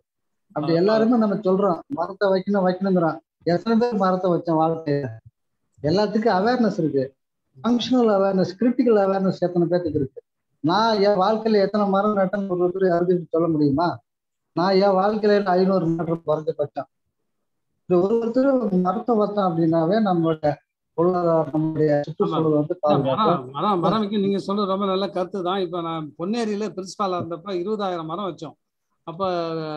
லயன்ஸ் கிளப்பை கொண்டு வந்து வச்சு அப்ப வந்து இவரு அப்துல் கலாம் இந்த இதுல விவேக். ஒரு இது நட்டிட்டு இருந்தாரு அவர்கிட்ட இருந்து செடிகள்லாம் வாங்கி நட்டோம். ஆனா மரங்கள் வைக்கிறது ஒரு நல்ல நீங்க சார் சொன்னது ரொம்ப அருமையானது நாங்களும் பண்ணிட்டு இருக்கோம். என்னுடைய புக்கு விற்பனையில ஒரு ஒரு புக்கு வித்தா ஒரு மரம் நடுறதுன்னா நான் அதுலயே அந்த புக்கிலே குறிப்பிட்டுட்டேன். ஒரு புக்கு வித்தா அது அந்த புக்கு காசுன்னு நினைக்காதீங்க. அது வந்து நாங்க மரம் வைக்கிறதுக்கு பயன்படுத்தணும்னு கூட எழுதியிருக்கேன். அந்த மாதிரிலாம் செஞ்சுட்டு இருக்கோம். மரங்கள் வந்து ரொம்ப அதுதான். மரம் அவர் சொன்ன கருத்து ரொம்ப எனக்கு ரொம்ப பிடிச்சிருக்கு. அது நம்ம நடைமுறையில் சேர்ந்தாலும் அவர் பொருளாதார மேதையை சொல்கிறாரு அதாவது மரங்கள் வச்சுட்டாலே அது ஓரளவுக்கு இப்போ எல்லா பிரச்சனையும் சால்வ் ஆகிடுறதுல ரொம்ப ரொம்ப நல்லா சொல்லியிருக்காரு. மகிழ்ச்சி மகிழ்ச்சி சார். ஆக்சுவலா நம்ம வந்து நான் அத முதல்ல மக்களாகிய நாம என்ன பண்ணோம்னு கேட்ட கேள்வி கேட்டதுக்கு காரணம் என்னன்னா நாம அரசாங்கத்தை குறை சொல்லிட்டே இருந்தோம்னா அது அது இன்றைக்கு நடக்கிற வேலை இல்லை. நாம என்ன பண்ண போறோம்? அப்படின்றதுக்காக தான் அந்த கேள்வி வச்சேன். அரசாங்கத்து வழியை பார்த்தோம்னா அது இன்னைக்கு பேசி நாம பேசி முடிவு பண்ண போறதில்ல எதுவுமே நடக்க போறதில்ல. அவ- அ- அங்க நம்ம நம்ம கையில பல விஷயங்கள் இருக்குதுன்னா அரசாங்கம் தான் முழுக்க முழுக்க பொறுப்புன்னு நாம நினைக்கிறோம். பல சூழ்நிலைகள்ல பல காரணங்கள் இருக்குது நமக்கு தெரியும். சில விஷயம் பல காரணங்களை நாம இங்க பேச முடியாது. பொதுத்தரத்துல நம்ம இது பேசணும் அதுக்காக தான் நம்ம நம்மளா மக்களா என்ன பண்ணலாம்? நம்மளோட பங்குக்கு என்ன பண்ணலாம் அப்படின்ற ஐடியாவை கேட்டேன். மகிழ்ச்சி. உங்களோட கருத்துக்களுக்கு மகிழ்ச்சி. அடுத்து வேற யாராச்சும் பேச வரீங்களா? ஐயா வணக்கம். வணக்கம். வாங்க. ஆஹ் நான் எஸ்ஐவிடி கல்லூரி தமிழ்துறை தலைவர் முனைவர் மு. நளினி ஐயா. ஆஹ் முனைவர் பாலசுப்ரமணியம் ஐயா அவர்கள் ரொம்ப சிறப்பா செறிவான ஒரு உரை வழங்கினார்கள். ஆய்வுரையாக அது இருந்தது பயனுள்ளதாக இருந்தது. மிக்க மகிழ்ச்சி. இதை ஏற்பாட்டு செய்த அனைவருக்கும் நான் நன்றி தெரிவிச்சுக்கிறேன் ஐயா முதல்ல. ஆஹ் நம்முடைய பிரேமா அம்மா சொன்னாங்க மறைநீர் பொருளாதாரம் அப்படின்றத குறித்து அவங்க விரிவா சொன்னாங்க. மறைநீர் பொருளாதாரத்தையும் கவனத்தில் கொண்டு நம்ம பொருளாதார வணிகம் அயல்நாட்டு வணிகம் செய்ய வேண்டும் சொன்னாங்க. அருமையா இருந்தது. அதைத் தொடர்ந்து நம்முடைய ராஜா ஐயா அவர்கள் சுற்றுச்சூழல் பாதிக்கப்படாத வகையில பொருளாதாரத்தை மேம்படுத்தணும். சுவர் இருந்தா தானே சித்திரம் வரைய முடியும். நம்முடைய அடிப்படை வளங்களை எல்லாம் பாழ்படுத்திட்டு செஞ்சிடக்கூடாது அப்படின்றது அறி அழகா சொன்னாங்க. என்னுடைய கருத்து என்னுடைய அண்ணாடத்துல என்னுடைய கேள்வி என்னன்னா ஆஹ் பாலசரவணன் ஐயா வந்து என்னுடைய அண்ணன். அதனால எனக்கு அண்ணன் வந்துருச்சு. வழக்கமா. பேசுறது போல. நம்முடைய ஆஹ் பொருளாதார வல்லுநர் அம்பத்தியாசன் சொல்றாரு இல்லைங்களா? உற்பத்தி அதிகரிப்பதன் மூலமாக மட்டும் இல்ல அந்த உற்பத்தி செய்யப்பட்ட பொருட்களை எல்லாருக்கும் போய் சேர செய்வதன் மூலமாகத்தான் பொருளாதாரத்துல வளர்ச்சி அடைய முடியும் அப்படின்னு சொல்லி அமத்தியாசன் சொல்ற மாதிரி அண்ணன் சொன்னாங்க. மக்களுடைய வாங்கும் திறனை அதிகரிக்கணும்னு சொல்றாங்க அருமை ரொம்ப அருமை. வாங்கும் திறனை அதிகரிக்கணும்னா வறுமை ஒழிக்கணும் இல்லையா? வறுமை ஒழிக்கணும்னா கல்வி வளர்ச்சி முன்னேற்றம் ஏற்படணும் இல்லையா? இப்போ இந்த கல்வி வளர்ச்சி முன்னேற்றம் அப்படின்றது வாங்கும் திறனை அதிகரிக்கிற வகையில இருக்குதா? ஃபர்ஸ்ட் கேள்வி. முதலாவது. அடுத்து ஜப்பான் போன்ற நாடுகள்லாம் என்ன சொல்றாங்கன்னா எப்படி நீங்க தொழில் வளர்ச்சி போன்ற இவ்வளவு தூரம் முன்னேறி இருக்கீங்கன்னு கேட்டாக்கா நாங்க தொழிற்கல்வி முதலான எல்லா கல்வியையுமே நாங்க தாய்மொழி வழியாக கொடுக்குறோம். அதனால இந்த லாங்குவேஜ் ப்ராப்ளம் எங்களுக்கு கிடையாது. இ- எளிமையாக எங்களுடைய இளைய தலைமுறை தொழில் கல்வி எல்லாவற்றையும் கற்றுக்கொண்டு சிறப்பாக செயல்படுறாங்க. அதனால எங்களுக்கு முன்னேற்றம் மிகவும் எளிதா இருக்கு. அப்படின்றது போல சொல்றாங்க. இப்போ நம்ம வந்து தாய்மொழி வழியாக இந்த தொழிற்கல்வி முதலான எல்லாவற்றையும் மாணவர்களுக்கு இளைய தலைமுறைக்கு கொடுக்கும் பொழுது அது பொருளாதார வளர்ச்சிக்கு உகந்ததாக இருக்கும் என்பது என்னுடைய கருத்து. அண்ணன் ஐயா என்ன சொல்றாங்க அப்படின்றது. இப்படி தாய்மொழி வழியாக கொடுக்கும் பொழுது அவர்களுடைய வளர்ச்சி அடைந்த அவர்களுடைய ஒரு பொருளாதார திறனை பொருளாதார ஆற்றலை பொருளாதார மேம்பாட்டு ஆற்றலை நம்ம வெளிநாட்டுக்கு அனு அனுப்பாம நாமளே பயன்படுத்தி நம்ம நாட்டை முன்னேற்றலாம் இல்லையா? இன்னைக்கு நல்லா படிச்சுட்டவங்க நல்லா இது பண்றாங்க என்ன பண்றாங்கன்னா வெளிநாட்டுக்கு போயிடுறாங்க. போயிட்டு அங்க போய் வேலை பாக்குறாங்க நமக்கு வருமானம் நம்ம நாட்டுக்கு இருந்தாலும் கூட அவர்களுடைய வளம் நம்ம நாட்டுக்கு இல்லாம போயிடுது இல்லையா? இந்த மாதிரி சில கேள்விகள். இதற்கு அண்ணன் என்ன பதில் சொல்றாங்க? அதாவது பொருளாதார வளர்ச்சிக்கு தாய்மொழி வழி கல்வி உதவுமா? இன்னைக்கு இருக்கிற கல்வி திட்டம் வந்து பொருளாதாரத்தை உயர்த்துகிற வகையில இருக்குதா? ரெண்டாவது. மூணாவது இந்த பொருளாதாரம் இருக்கு இல்லையா? இருக்கிற வளங்களை பயன்படுத்திட்டு மனித வளத்தையும் பயன்படுத்திக்கிட்டு இன்னைக்கும் நாளைக்கும் அதை எப்படி எல்லா துறைகளுக்கும் எப்படி பகிர்ந்தளிக்கப்படுகிறது அப்படின்றது பொறுத்து தானே பொருள் பொருளியல் அப்படின்ற சொல்றோம் இல்லையா? இந்த திட்டம் சரியாக நம் நாட்டிலே செயல்படுத்தப்படுகிறதா? இருக்கிற வளம் செம்மையாக பயன்படுத்தப்படுகிறதா என்பது குறித்து பேசினாங்க. நம்ம ராஜா ஐயாவும் அண்ணனும் பதில் சொல்லிட்டாங்க. மனித வளம் சரியா பயன்படுத்தப்படுகிறதா? ஏன்னா நம்ம வந்து மக்கள் தொகையில மிகுந்திருக்கிறோம் இல்லையா? அப்ப மனித வளத்துல மிகுந்திருக்கிறோம் தானே? அது நமக்கு ஒரு பிளஸ் பாயிண்ட் தானே? அப்போ நம் உற்பத்தி செய்யப்பட்ட அந்த வளத்தை இன்றைக்கும் எதிர்காலத்துக்கும் பல்வேறு துறைகள் துறைகளுக்கு சரியாக பகிர்ந்தளிக்கப்படுகிறதா? இந்த த- திட்டம் செம்மையாக செயல்படுகிறதா? இதற்கு முனைவர் பாலசுப்ரமணியம் ஐயா அவர்கள் என்ன சொல்றாங்க? அவங்களுடைய கருத்தை மேலான கருத்தை நான் எதிர்பார்க்கிறேன். மகிழ்ச்சி மகிழ்ச்சி. என்னுடைய அன்பு தங்கை எஸ்ஐவிடி தமிழ்துறை தலைவி டாக்டர் நல்லி அவர்கள் இந்த நிகழ்ச்சியில் பங்கேற்பது மிக்க மகிழ்ச்சி அளிக்கிறது. உங்களை அன்போடு வரவேற்கின்றேன். உங்களுடைய கேள்வி ஒரு அருமையான கேள்வி. அடிப்படையில் ஒரு மொழி தான் மனிதனுடைய கண்ணாடின்னு சொல்லுவாங்க. கண்ணு போல. அந்த மொழியை விட்டுட்டு கண்ணாடியை பற்றி நம்ம பார்த்துட்டு இருக்கோம். ஒரு மனிதன் நேரடியாக சிந்திப்பதற்கு அவருடைய தாய்மொழி தான் அவசியம். இன்னொரு மொழியில கத்துக்கிட்டு அவன் அதை டிரான்ஸ்லேட் பண்ணி அவன் புரிஞ்சுக்கிறது காட்டில் அவன் எவ்வளவோ காலம் எடுத்துக்குது.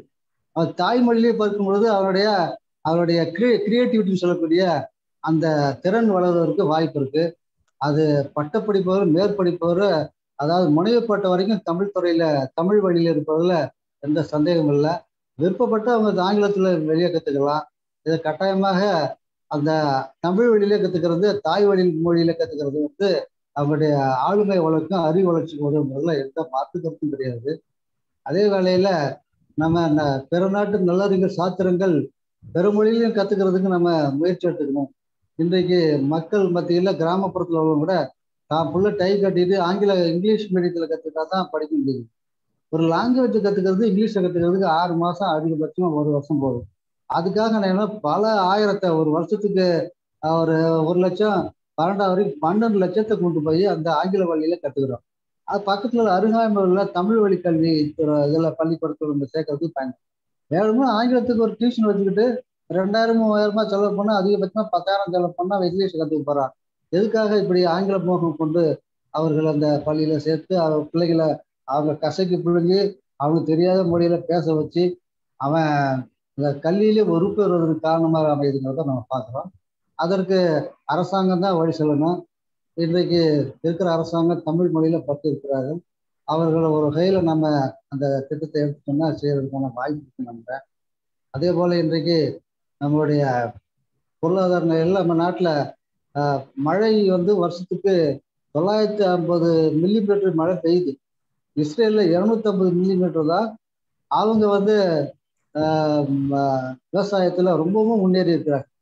காரணம் கேட்டிங்கன்னா அவங்க பல அடுக்குமுறை விவசாயம் பண்ணுறாங்க நாம் மழை பெய்யும் போது அந்த மழையெல்லாம் ஆறு ஏரியில் போய் அது அது கடலில் கலந்துக்கிறோம்.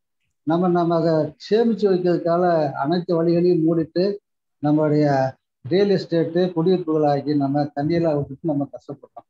அப்படி இந்த தண்ணிகளை சேமிக்கிறதுக்கு ஒரு தலைமுறை உண்மையிலேயே விவசாயம் வந்து திரும்பவும் முன்னணியில் வரும். நம்மளுடைய வாழ்க்கை தர உயர் என்பதில் சந்தேகம் இல்லை. இந்த கேள்விக்கு ஓரளவுக்கு இதை சொல்லியிருக்கேன் நினைக்கிறேன். தங்கச்சி அப்படின்னு சொல்லுங்கள் நன்றி. நன்றி. நன்றிகள் நன்றிகள். உங்களுக்கு வேற ஏதாவது கேள்விகள் இருக்கா? மேடம் நளினி மேடம் வாங்க இல்லை மிக அருமையாக நம்முடைய பேராசிரியர் அவர்கள் என் கேள்விக்கு பதிலளித்தார்கள். ஐயா நான் பேசுறது கேக்குதுங்களா? ரொம்ப அருமை ஐயா. என்ன செறிவான ஒரு பதில எனக்கு கொடுத்தாங்க. என்னன்னா தொழிற்கல்வி எல்லாம் வந்து தாய்மொழி வழியில படிக்கட்டும் தொடர்பு கொள்வதற்காக அந்நிய மொழியை கற்றுக்கொள்ளட்டும் அப்படின்றது எளிமையான வழியை மிகச்சிறந்த ஒரு வழியை கொடுத்திருக்காங்க. ரொம்ப நல்லது. அருமை அருமை. அதே மாதிரி மறைநீர் பொருளாதாரம் பத்தி பிரேமாமா பேசினாங்க. ஐயா அண்ணா என்ன சொல்றாங்க? பாலசரவணன் ஐயா என்ன சொல்றாங்கன்னா நம்முடைய நீர் மேலாண்மை போதுமானதாக இல்லை. நீர் நீர் மேலாண்மை திறன் வந்து நம் நாட்டுல போதுமானதாக இல்லை என்பது போல பெய்கிற மழையை நாம சிறந்த வகையில மேலாண்மை செய்தால் கூட ஈடுகட்ட முடியும். அப்போ மறைநீர் பொருளாதாரத்தில் கவனத்தில் கொண்டு நீர் மேலாண்மை சிறப்பாக செய்யும் பொழுது நம்முடைய பொருளாதாரம் வளர்ச்சி அடையும் என்பது சொல்லியிருக்காங்க. ரொம்ப அருமைன்னா நன்றி. ஸ்டேட்டா நம்மளோட ஸ்டேட் வருது. இந்தியாவும் அதே மாதிரி அர்பனைசேஷனோட இது வந்து மத்த கண்ட்ரிஸை விட இங்க ஜாஸ்தி ஆகுது.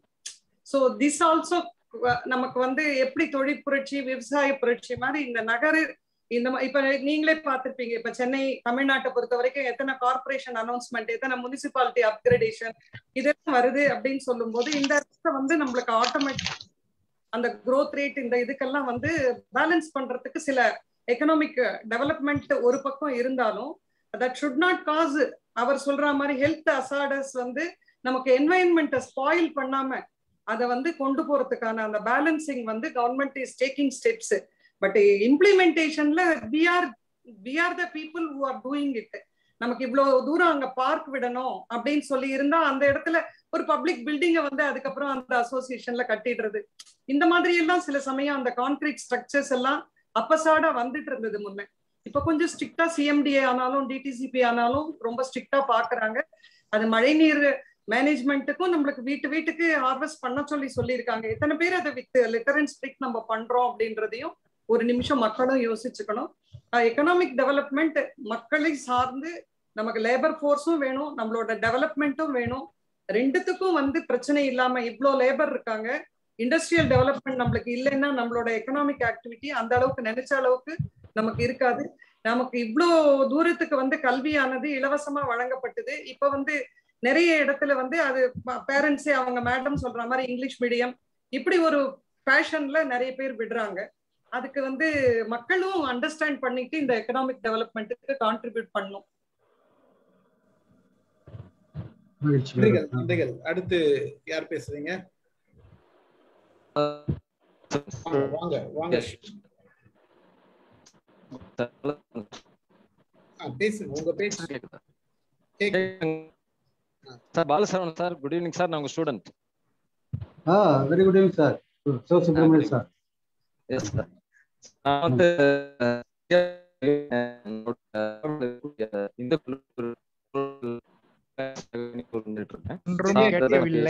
இல்லடா உங்களோட வாய்ஸ் சரியா கேட்கல ஒரு நிமிஷம் சார்.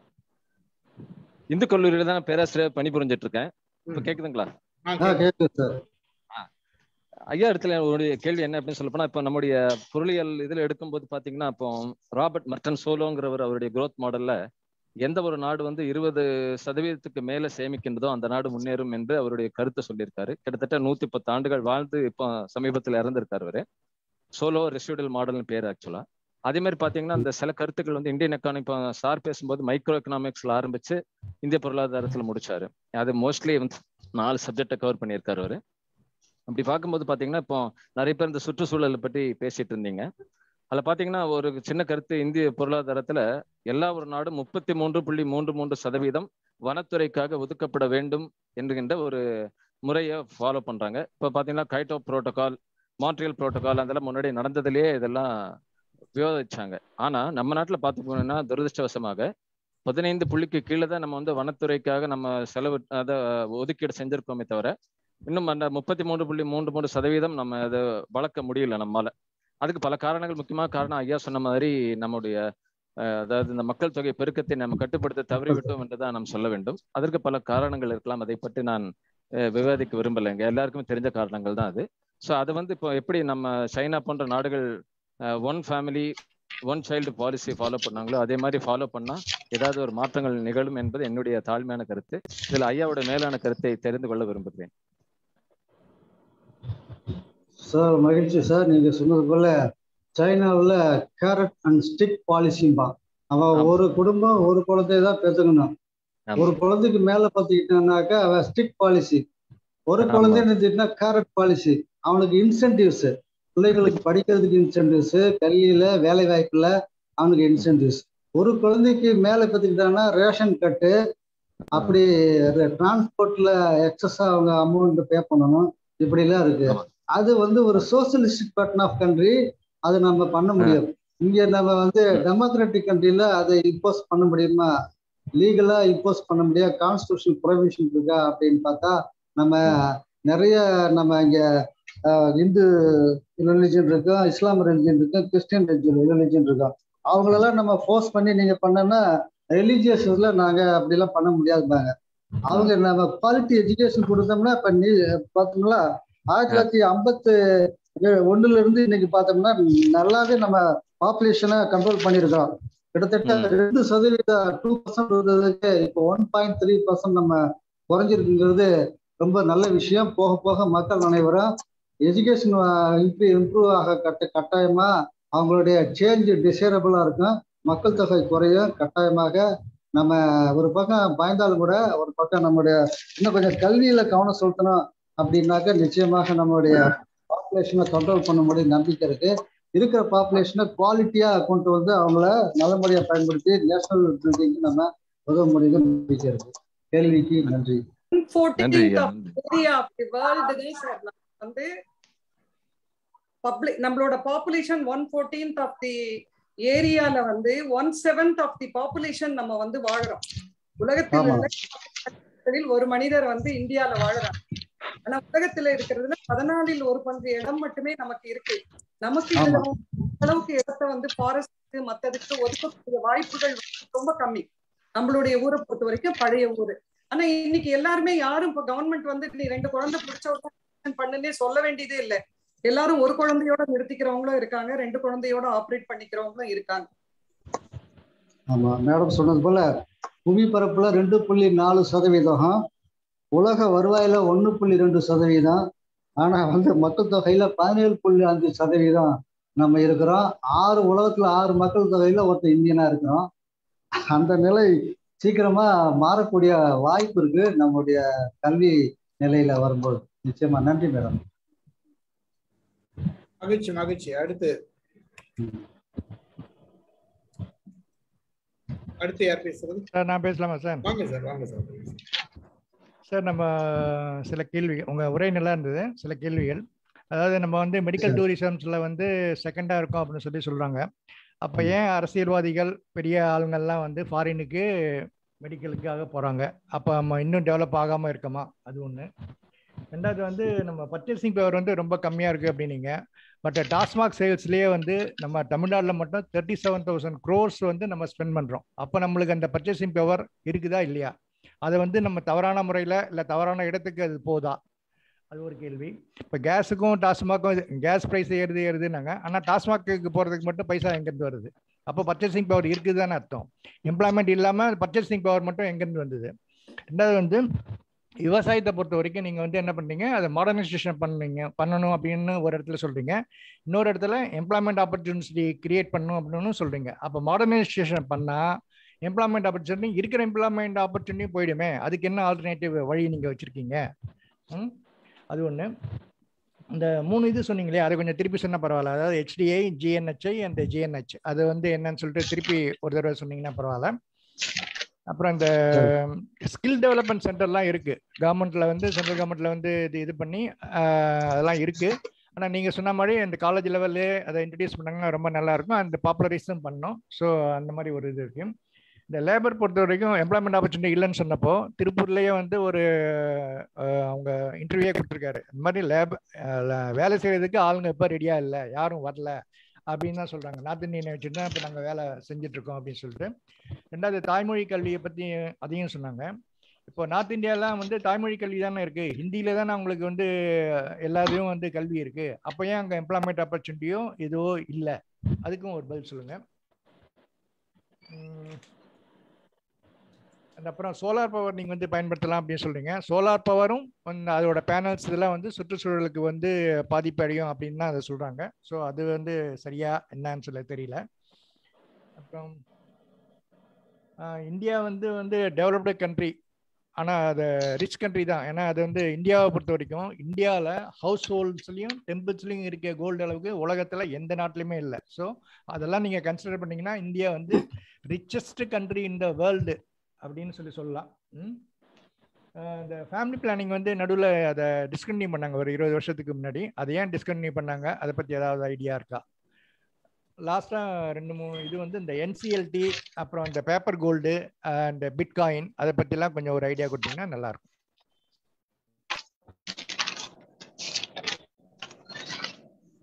சாரு கொடுக்கறதுக்க நிறைய கேள்வி கேட்டிருக்கீங்க. இந்த மெடிக்கல் டூரிசத்துல அரசியல்வாதிக வெளிநாடு போறாங்க அப்படின்னா அது நீங்க அவங்களதான் கேட்கணும் இப்படி அவ்வளவு ஃபெசிலிட்டிஸ் இருந்து அவங்க போறாங்கன்னா ஏதாவது அவங்க டிஏடியை கிளைம் பண்றதுக்கு வேற ஏதாவது லக்ஸுரியஸா செலவு பண்றது போறாங்களாங்கிறது அவங்களதான் நீங்க கேட்கணும் ஓகே அது ஒன்றும் அவ்வளோ இம்பார்ட்டன்ட் கொஸ்டின்ஸ் இல்லை. சும்மா சரி சரி.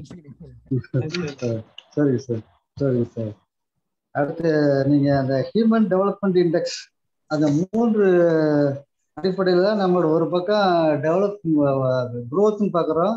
இன்னொரு பக்கம் டெவலப்னு பார்க்குறோம். குரோத்துங்கிறது அந்த முன்னேற்ற வளர்ச்சி டெவலப்ங்கிறது முன்னேற்றம். முன்னேற்றத்தில் வந்து ஹியூமன் டெவலப்மெண்ட் இண்டெக்ஸ் மனித வளர்ச்சி குறியீடு அப்படிங்கிறோம்.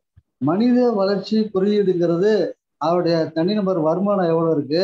இந்த வருமானத்தால அவள் எந்த அளவுக்கு குவாலிட்டி ஆஃப் லைஃப் அதுதான் PQLI physical quality life index எப்படி இருக்குங்கிறது நம்ம பார்க்குறோம் அதாவது ஆயிரம் பேர்த்துக்கு எத்தனை பேர் நம்ம வந்து பிறக்கிறாங்க அவங்க எந்த அளவுக்கு லைஃப்பை லீட் பண்ணுறாங்க லைஃப் எக்ஸ்பெக்டன்சி என்னங்கிறதெல்லாம் பார்க்கறது தான் பிபிஎல்ஐ அதே சமயத்தில் ஜிஎன்ஹெச்ஐ அப்படின்னு கிராஸ் நேஷனல் ஹாப்பினஸ் இண்டெக்ஸ் மொத்த தேசிய மகிழ்ச்சி குறியீடு அப்படிங்கிறத பார்க்குறோம் மொத்த தேசிய மகிழ்ச்சி குறியீடு எதை பற்றி அப்படின்னு பார்த்தீங்கன்னா ஆங்கிலத்தை சொல்லணும்னா மல்டி டைமென்ஷனல் மெத்தாலஜி அப்படிங்கிறான் ஒன்று குட் கவர்னன்ஸ் நல்ல அரசாங்கம் இருக்கும் பொழுது கட்டாயமா அவங்களுடைய மகிழ்ச்சியா இருக்க முடியும். நல்ல அரசாங்கம் நல்ல திட்டத்தை போட முடியும். நல்ல திட்டத்தை போட்டாங்கன்னா அதை போடுறது மட்டும் இல்லை செயல்படுத்தும் போது மக்கள் பயன்படுத்தும் போது அவங்களுடைய கட்டாயமா அவங்களுடைய வாழ்க்கை தர உயரும். அது sustainable social socio economic development நிலைத்த சமூக பொருளாதார வளர்ச்சி. இன்னைக்கு வந்து கிராமப்புறத்துல இதுல ஊரக வேலை வாய்ப்பு மகாத்மா காந்தி நேஷனல் ஊரக வேலை வாய்ப்பு திட்டம் ஊதியளிப்பு திட்டம் சொல்லி கொடுத்துருக்கான். அது என்னன்னா ஒன்று மைக்ரேஷன் குறைக்கிறது ரெண்டு பிலோ பாவர்ட்டி லைன் உள்ளவங்களுக்கு குறைந்தபட்சம் வருஷத்துக்கு நூற்றம்பது நாள் வேலை கொடுக்கணும் அப்படின்னு சொல்லி அந்த அவங்களுடைய ஹியூமன் லேபரை எங்கே பயன்படுத்துறோம்னா அந்த ஏரி ஆறு குளப்படுத்துறதுக்கு கால்வாய் குளப்படுத்துறதுக்கு மரங்கள் வைக்கிறதுக்கு. இன்னைக்கு வந்து விவசாயத்துக்கு விவசாயத்துக்கு வேண்டிய விவசாயிகளுக்கு வேண்டிய சின்ன சின்ன அந்த பண்ணைக்குட்டை அமைக்கிறது போன்ற வகையில் அவங்கள ஈடுபடுத்துறதுக்கு நம்ம பார்க்குறோம். அடுத்து கல்ச்சுரல் ப்ரிசர்வேஷன் உங்களுடைய கலாச்சாரத்தை நம்ம பாதுகாக்க வேண்டும். அடுத்து முக்கியமான என்விரான்மெண்டல் கன்சர்வேஷன் சுற்றுச்சூழலை பாதுகாக்க வேண்டும். இது மாதிரி நான் சொன்னது போல அந்த ஃபாரஸ்ட் ஏரியாவில் யார் மலை அதாவது சமயத்தில் அந்த ரோடு ஓரத்தில் மரங்கள் எடுத்து கொண்டு வருவதெல்லாம் செய்வதன் மூலமாக அந்த மக்களுடைய வாழ்வாதாரத்தை உயர்த்த முடிந்ததுக்காக தான் இந்த முன்னேற்றம் அதை வச்சு முன்னேற்றம் நம்ம பார்க்குறோம். அடுத்து சார் கேள்வி கேட்ட கேள்வி அந்த ஃபேமிலி பிளானிங் அதுக்கு முன்னாடி எம்ப்ளாய்மெண்ட் அதுக்கு முன்னாடி எம்ப்ளாய்மெண்ட் ஆப்பர்ச்சுனிட்டி அதாவது அக்ரிகல்ச்சர்ல வந்து நீங்க மானிட்டேஷன் பண்ணுன்றீங்க. சமயத்துல அக்ரிகல்ச்சர்ல சார். இல்ல அதே வேலை வாய்ப்பும் ரெண்டும் கான்ட்ரடிக்டரியா இல்ல நான் நான் என்ன சொல்றேன் சார் ஒன்று ட்ரெடிஷனல் பேட்டர்ன் ஆஃப் அக்ரிகல்ச்சர் என்ன வந்து அவங்களுடைய மூதாதையர்கள் பயன்படுத்திய உழவு முறை ஆடு மாடு விதைகள் பூச்சி மருந்து பூச்சிக்கொல்லி மருந்து இதெல்லாம். இன்னொரு பக்கம் நவீன முறையில் அப்படின்னு சொல்லும்போது நாம ரொம்பவும் மாடர்னைஸ் பண்ண முடியாது ட்ரெடிஷ்னலாக வேண்டாம். நமக்குன்னு ஒரு டெக்னாலஜியை இன்ட்ரடியூஸ் பண்ணணும்னா தான் அப்ரோப்ரியேட் டெக்னாலஜின்னு சொல்லுது நமக்கு வேண்டிய நம்ம சுற்றுச்சூழலுக்கு நம்மளுடைய கலாச்சாரத்துக்கு பொருளாதாரத்துக்கு வேண்டிய ஒரு ஒரு டெக்னாலஜியை பயன்படுத்தி மக்களையும் பயன்படுத்தணும் விவசாயிகளுடைய லேபரையும் பயன்படுத்தணும் லேண்ட்லெஸ் லேபரர்ஸுடைய அந்த உழைப்பையும் பயன்படுத்தணும் அதே சமயத்தில் தொழில் மட்டும் பயன்படுத்தணும். அப்படி பார்க்கும்போது இன்றைக்கு ஓரளவுக்கு என்ன பண்ணுறாங்க அப்படின்னாக்கா அந்த ட்ரிப் இரிகேஷன் முழுமையாக தண்ணியை பயன்படுத்துகிற காட்டில் ட்ரிப் இரிகேஷன் அதே போல் ரெயின் ஹார்ஸ் எஜுகேஷன் ஒரு டியூப் கொடுத்து பண்ணுறாங்க மக்களை இந்த சின்ன ஒரு டிராக்டர் கொடுத்து அந்த டிராக்டரை பெரிய பவர்ஃபுல் டிராக்டரை காட்டி சின்ன டிராக்டர் மூலமாக அவனுக்கு மனுஷனுக்கும் வேலை கொடுக்கணும். அதே சமயத்தில் அந்த மெஷினும் வேலை செய்யணும். அப்படி ரொம்ப உடல் உழைப்பு இல்லாமல் வேலை செய்யணும். அப்படிங்கிற வகையில் நிறைய திட்டங்களை அரசாங்கம் பயன்படுத்திட்டு வராங்க அந்த வகையில் நம்ம சுற்றுச்சூழலுக்கு அழிவில்லாத ஒரு ஒரு ஒரு விவசாய முறையை நம்ம பயன்படுத்தி அந்த விவசாய முறைக்கு பேர் வந்து அந்த அப்ராப்ரியேட் டெக்னாலஜி அப்படின்னா நமக்கு வேண்டிய உழந்த ஒரு ஒரு தொழில்நுட்பத்தை பயன்படுத்தி ஒரு நிறைய பயன்படுத்தி நம்மளுடைய மக்களையே கேபிட்டலையே பயன்படுத்தி விவசாய முறையை நம்ம கையெல்லாம் முழுக்க முழுக்க யூஎஸ்ல பயன் வந்து ஹெலிகாப்டர்ல விதை போடுறதோ ஹெலிகாப்டர்ல மருந்து அடிக்கிறதோ பவர்ஃபுல் டிராக்டர்ல ஹார்வெஸ்ட் பண்றதோ நம்மளால பண்ண முடியாது பண்ணவும் கூடாது. பண்ணணும்னா மக்கள் வந்து இன்னும் வேலை இல்லாமல் ஆயிடுவாங்க. ஸோ அந்த மாதிரியான ஒரு தொழில்நுட்பத்தை பயன்படுத்தி நம்மளுடைய ஆஹ், விவசாயத்தை நம்ம இல்ல இல்ல வேலை வாய்ப்பு இல்லைன்னு எப்படி சொல்றீங்க இப்போ? இந்தியா எந்த இடத்துல எந்த கடையில போனாலும் வேலைக்கு ஆட்கள். தேவை வேலைக்கு ஆட்கள் தேவை அப்படின்றாங்க. பட் அந்த மாதிரி வேலைக்கு போறதுக்கு நம்ம ஆட்கள் ரெடியா இல்லை. ஸோ அந்த மாதிரி போனாலே வந்து ஒரு fifty percent sixty percent I mean at least ஒரு டுவெண்ட்டி பர்சன்ட் ஜாப் ஆப்பர்ச்சுனிட்டி தான் கிடைக்கும். ஆனால் எல்லாருமே வந்து ஏசி ரூம் ஜாப் தான் எக்ஸ்பெக்ட் பண்ணுறாங்க ஸோ அதனால தான் வந்து ஸ்டில் இந்த வேலைவாய்ப்பு இது இருக்குன்னு சொல்லி நினைக்கிறேன். ரெண்டாவது அந்த TASMAC thirty seven thousand crores சொன்னோம் இல்லையா? அதுக்கு உங்களோட. எக்ஸ்பிளேஷன் என்ன? டாஸ்மாக் அது வந்து அரசாங்கம் தடைப்படுத்தணும். அரசாங்கத்துக்கு வருமானம் வருங்கிறதுக்காக ஒரு குறிப்பிட்ட மக்களை வந்து அதை குடிக்க வச்சு அடிமைப்படுத்தி செய்யறதுங்கிறது அது அரசாங்கத்துக்கு இல்லது. என்னைக்கு வந்து அரசாங்கம் அதை முழுமையாக த- தடை செய்கிறாங்களோ அன்னைக்கு குறைய போகுது. அவங்களுக்கு வருமானம் வர்றதுக்கு நிறைய ஃப்ரீ பீஸ் கொடுக்க ஆரம்பிச்சிட்டாங்க அரசாங்கம். இலவசங்களை கொடுக்க ஆரம்பிக்கிறதுக்கு அவங்களுக்கு பணம் இல்லை. அதனால என்ன பண்றாங்க? ஒரு பக்கம் டா- டாஸ்மாக தரத்தை விட்டு குடிக்க வச்சு பணத்தை பண்ணிட்டு இருக்காங்க. இது ஒரு நல்ல நேர்மையான அரசு செய்யக்கூடிய விஷயமா நான் கருதல. அது அரசாங்கத்தோட தான் நீங்க கேட்கணும் அதை நிறுத்த வேண்டிய கட்டாயம் அரசாங்கம் தான்.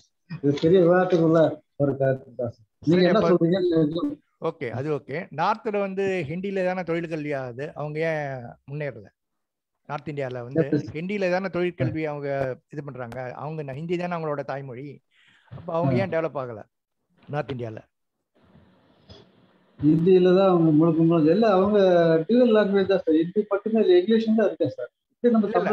தொழிற்கல்வி இது இன்ஜினியரிங்லாம் வந்து மெஜாரிட்டி அவங்க வந்து ஹிந்தியில தான் பண்றாங்க. இங்கிலீஷ் வந்து வெரி லிட்டல் தான். கம்பேரிங் சவுத் இந்தியா நார்த் இந்தியாவில் வந்து இங்கிலீஷ் யூசேஜ் வந்து ரொம்ப ரொம்ப கம்மியாக தான் இருக்கு. ஹிந்தியில தான் வந்து அவங்க இன்ஜினியரிங் தொழிற்கல்வி எல்லாமே இருக்கு. ஸோ அப்படி இருக்கும்போது. வந்து அவங்க நம்மளோட சிறந்து இருக்கலாம் இல்லையா? சிறந்து இருக்கணும் சார்.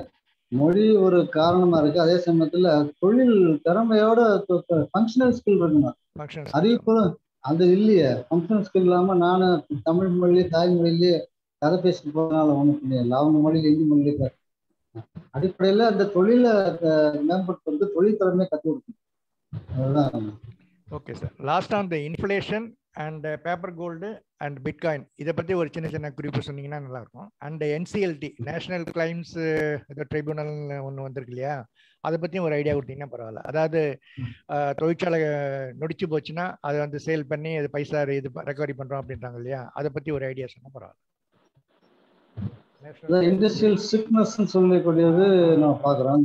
அந்த சிக்னஸுக்கு அவங்க வந்து அரசாங்கம் வந்து அந்த ஏன் சிக்னஸ் ஆகுதுன்னு ஒரு கமிட்டி கான்ஸ்டியூட் பண்ணி அதை அவங்க அந்த கமிட்டி மூலமா என்ன காரணங்கிறத ஒரு அனலைஸ் பண்ணி அவங்கள திரும்பவும் அந்த தொழில எடுத்து செய்யறதுக்கான வழிமுறைகளை கையாளணும். அதுல கிட்டத்தட்ட நூற்றுல கிட்டத்தட்ட முப்பது சதவீதம் பேர் தொழிலில் நசிவடைகிறங்கிற உண்மைதான். அவர்களை நலிவடையாமல் பார்க்கறதுக்கு அரசாங்கம் மேலும் மேலும் சில உதவிகள் செய்யுது. எத்தனையோ கோடிக்கணக்கான கோடியா கொடுத்து யாரையாவது வாங்கிட்டு வர வெளிநாட்டுக்கு போயிடுறாங்க. இது மாதிரி அஞ்சு கோடி ரெண்டு கோடி மூணு கோடி ஒரு கோடி வாங்கிட்டு போறவங்கள அரசாங்கம் கைவிடக்கூடாதுங்கிறது என்னுடைய கொள்கை. அவர்களை என்ன காரணத்துக்காக அந்த தொழிலில் நசித்தாங்களோ என்ன அவங்களுக்கு குறைகளோ அதை நிவர்த்தி செய்வதற்கு ஒரு ஒரு கமிட்டி கான்செப்ட் பண்ணி அவங்கள மேம்படுத்தணும். சார் சொன்னது பிட்காயின்கிறது இந்த உலக அளவில் இன்னைக்கு ஒரு ஒரு எப்படி நம்ம ஏடிஎம் கார்டு வச்சுக்கிறோமோ அதே போல் பிட்காயின் வந்து இன்னைக்கு அரசாங்கத்தில் லீகல் டெண்டர் மணி ஆயிடுச்சு. அதை எல்லாருமே ஏற்றக்கூடிய ஒரு நிலையில இருக்கிறோம். அதுல அரசாங்கம் தான் முடிவு எடுத்திருக்கு. நாம யார் யாரெல்லாம் விருப்பம் போல பிட்காயின்ல நீங்க இன்வெஸ்ட் பண்ணலாம். அவ்வளவுதான். வேற என்ன எதிர்பார்க்குறீங்க சார் இல்லை. இப்போ பிட்காயினை பொறுத்த வரைக்கும் உங்களுடைய கருத்து. அதாவது பிட்காயின் இன்றைக்கு இந்தியாவுக்கு வருமா? நிச்சயமா வரும் சார் வந்து வரைக்கும் ஒரே ஒரு அவங்களே கண்ட்ரி தான் வந்து அதை அப்ரூவ் பண்ணிருக்காங்கன்னு நினைக்கிறேன் பிட்காயின் நம்ம நாட்டிலேயே இப்ப கிட்டத்தட்ட லீகலா அப்ரூவ் பண்ணிட்டாங்க. எந்த தடையும் கிடையாது. வந்துருச்சு. பிட்காயின் வந்துருச்சு சார் ஓகே பேப்பர் கோல்ட்ல அதை இன்வெஸ்ட் பண்ணலாமா என்ன? நீங்க பண்ணலாம் சார். நீங்க தெளிவா வரைக்குமே பண்ணலாம். உங்களுக்கு அதை பத்தி பேசிக் நாலேஜ் இருக்குன்னா நீங்க புரிஞ்சுக்கிட்டு இன்வெஸ்ட் பண்ணலாம். டெய்லி நீங்க அதனுடைய அதனுடைய ஏற்ற இறக்கம் நீங்க பார்த்துட்டு செஞ்சீங்கன்னா கட்டாயமா நீங்க இன்வெஸ்ட் பண்ணலாம். நீங்க வெற்றியாளராக வர முடியும். ஏர்ன் பண்ண முடியும். இப்போ வாரா கடனுக்காக ஏதோ ஒரு கமிஷனை இது பண்ணி உங்க இந்த இண்டஸ்ட்ரியை சேல். பண்ணி அந்த இதை ரெக்கவரி பண்றோம் அப்படின்னு இப்போ அம்பானி இருந்தெல்லாம் இப்போ ரெக்கவரி பண்ணாங்க இல்லையா அந்த மாதிரி ரெக்கவரி. பண்ணும்போது வந்து தம்பியோட இதை வந்து அண்ணன் வித்துட்டு அவங்களே வந்து அதாவது ஆக்சுவல் அசட் வேல்யூ வந்து ஒரு டுவெண்ட்டி தௌசண்ட் க்ரோஸ் இருந்ததுன்னா ஒரு மியர் ஃபோர் ஹண்ட்ரட். க்ரோஸ் அந்த மாதிரி வாங்கிட்டு அந்த கம்ப. இது கவர்மெண்ட்டுக்கு வந்து லாஸாக தான் இருக்கே தவிர ஃபுல்லாக வந்து ரெக்கவரி ஆக மாட்டேங்குது ஏன் வந்து ஆக்சுவல் கடன் அளவுக்கு இல்லை அந்த வேல்யூ அளவுக்கு ரெக்கவரி பண்ண மாட்டேங்கிறாங்க கவர்மெண்ட் வந்து அந்த இதை வந்து தள்ளுபடி செய்யுமா? இல்லை அப்படியே அப்படியே தான் வச்சிருக்குமா? இப்போ suppose twenty thousand crores loan இருக்கு. ஃபோர் ஹண்ட்ரட் க்ரோஸ் தான் வந்து ரெக்கவரி ஆகுது. ஸ்டில் அந்த ஃபோர்டீன் தௌசண்ட் க்ரோஸோ இல்லை ஃபிஃப்டீன் தௌசண்ட் க்ரோஸை வந்து லோனாகவே மெயின்டைன் பண்ணுவாங்களா? இல்லை அதை ரைட் ஆஃப் பண்ணுவாங்களா? அதை பற்றி ஏதாவது ஐடியா இருக்கா? ஸோ இப்போ ஒரு அரசாங்கம் நடத்துறது பிக் ஷாட் இன்ஃப்ளூயன்ஸ் தான் நடத்துது அவங்களுடைய தயவுல தான் அரசாங்கமே நடத்தும் பொழுது அது எப்படி அவங்க இல்லை அது பண்றது? எக்ஸாம்பிளுக்கு தான் சொன்னேன். அப்படிதான் நிறைய பிக் கடன்கள் தான் இருக்க வழியா அதுக்கு எந்த விதமான ஒரு முயற்சியும் அவங்கள ரெக்கவரி பண்றதுக்கு முயற்சி எடுக்கங்கிறதா நம்ம கஷ்டமான ஒண்ணு. அப்படி இருக்கும் பொழுது அவங்கள காரணம் காட்டி மற்றவங்களும் தப்பிச்சிருக்காங்க. அவங்கள பிடிச்சா மற்றவங்க கட்டாயமா அவங்கள்ட்ட மற்றவங்க ரெக்கவரி பண்ணணும். இந்த விவசாயத்தை பொறுத்த வரைக்கும் நம்ம நம்மாழ்வார் வந்து ஆர்கானிக் விவசாயம் வந்து ரொம்பவே ப்ரொவைட் பண்ணாரு. ஆனா அவர் உயிரோட இருக்கிற வரைக்கும் யாருமே வந்து அதை ரெகனைஸ் பண்ணல. இன்னுமே ரெகனைஸ் பண்ணல. அது ஒண்ணு. ரெண்டாவது வந்து ஊரக. வேலைவாய்ப்பு திட்டத்துல வந்து நம்ம க்ரோஸ் ஆஃப் மணி ஸ்பெண்ட் பண்ணியிருக்கோம். ஆனா அந்த மணி ஸ்பெண்ட் பண்ண அளவுக்கு அசட்ஸ் கிரியேட் பண்ணோம்னா அந்த மாதிரி அசட்ஸோ வேலையோ நடக்கல அப்படின்றதான் உண்மை. அது சரிதானே? இல்லை சார் அதாவது மேடமும் சொல்லலாம் இதுல இது பதில். இல்லை இது அவருக்கு அடிப்படையான ஒரு வாழ்வாதார பிரச்சனை அதுவே இல்லாம இருக்கும் போது அந்த பெரிய பணத்தை நம்ம ஒரு பெரிய விஷயமா இருக்கு. அதை விட பல வகையில நம்ம என்னென்னமோ சொல்ல அந்த ஏழை வேலை இல்லாதவங்கள லேண்ட்லெஸ் லேபரர்ஸ் கொடுக்கறது பெரிய விஷயமா நான் கருத வேண்டாங்கிறது. என்ன வேணுமோ அதை ஆல்டர்னேட் பண்ணி அவங்களுடைய ஹியூமன் லேபரை எடுத்துக்கிறதுக்கான முயற்சி எடுக்கலாம் இல்லையா அதை வைண்ட் அப் பண்றது நல்லதா இல்லை? இல்ல இல்ல வைண்ட் அப் பண்றது இல்ல. அது ப்ராப்பர் அசட்ஸ் கிரியேட் பண்றதுக்கு அதுல வந்து ஊழல் வந்து ரொம்ப ஜாஸ்தியா இருக்கு அதான் சொல்றேன் இன்னும் கொஞ்சம் அது வேற என்ன பண்ணலாங்கிறது நம்ம திங்க் பண்ணணும். அட்மினிஸ்ட்ரேஷன் வந்து ஸ்ட்ரீம்லைன் பண்ணாலே போதும். ஏன்னா அதுல. ஒர்க் பண்றவங்களே வந்து அறுபது வயசுக்கு மேல இருக்கவங்க அந்த மாதிரி தான் வந்து ஒர்க் பண்றாங்க பத்தி ஏதாவது ஐடியா இருக்கா? இல்ல சார் ஒரு அருமையான திட்டம் தான். அதை வந்து நீங்க வரைமுறைப்படுத்துங்கிறது தான் எடுக்க வேண்டும் அதை இன்னும் கொஞ்சம் என்ன பண்ணலாம்? அவங்களுடைய ஹியூமன் லேபரை ப்ராப்பரா சேனலைஸ் பண்றதுக்கு என்ன பண்ணலாம்? அது எத்தனையோ ஆறு ஆறு ஏரி குளங்கள்ல இன்னும் வந்து தூண்டு கிடக்குது. அதை வந்து அவங்கள வச்சு நம்ம எடுக்கலாம். பண்ணலாம் பண்ணலாம். இப்ப இதுல இதை பொறுத்த வரைக்கும் நான் ஒரு ஒண்ணு சொல்ல ஆரம்பிக்கிறேன். இந்த நூறு நாள் வேலை திட்டம்லாம் அவங்க எல்லாம் ஏழைகளுக்கு கொடுத்து அவங்கள்ட்ட வேலை வாங்குறது இல்ல இந்த மீடியேட்டர் இன் பிட்வீன் இருக்கிறவங்க இவங்க சாப்பிடுறது வேற பெரிய பாடா இல்ல இல்ல இருக்கு இப்ப அது மாறிடுச்சு.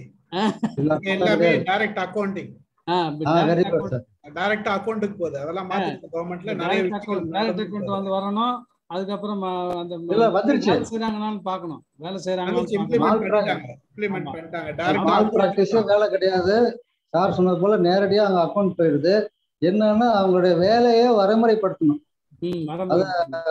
முதல்ல நூறு நாள் நூறு நாள் வேலை திட்டம் வந்து எதுக்காக கொடுத்தாங்கன்றது ஒண்ணு நம்ம யோசிக்கணும். இதுல. பல கேள்விகள் இருக்கு நூறு நாள் வேலை திட்டம் வந்து கொடுத்து அவங்களுக்கு வந்து விவசாயிகள் வேலை இல்லாத நேரத்துல ஏதாச்சும் அவங்க கிட்ட வேலை அவங்களுக்கு உதவணுன்றதுதான் முதல் நோக்கமே.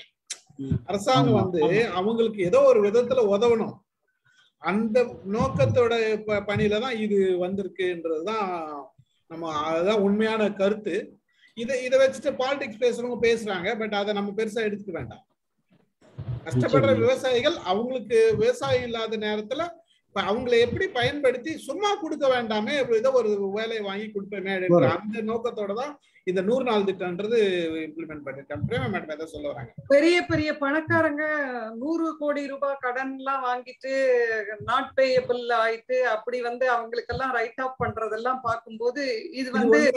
பெரிய விஷயம் இல்லை. ஆனால் அது கண்காணிப்பு சரியா செஞ்சு அவர் சொன்ன மாதிரி டைரக்டா இப்ப அக்கௌண்ட்டுக்கு போகுது மிடில் மேனுக்கு இல்லைன்னும் போது கரெக்டா வந்து நம்ம அந்த ஒர்க்கை வந்து மெஷர் பண்ணி அவங்க கிட்ட வேலை வாங்கிக்கிற அளவுக்கு இருக்கிறவங்கள டிசேபிள்டு பர்சன்ஸா அதுல இருந்து எக்ஸ்க்ளூட் பண்ணி வேற விதமான ஸ்கீம்ஸ் அவங்களுக்கு இப்ப நூ அறுபது வயசுக்கு மேல இருக்காங்க அவங்களால இந்த விவசாய வேலை செய்ய முடியாதுன்னு இருக்கிறவங்களுக்கு வேற ஸ்கீம்ல கவர் பண்ணிட்டு மத்தவங்களை உழைக்கிறவங்கள மட்டும் வச்சுக்கலாம் கான்ட்ரிபியூட் பண்ண வைக்கலாம். ப்ரொடக்ஷனுக்கு கான்ட்ரிபியூட் பண்ண வைக்கலாம்.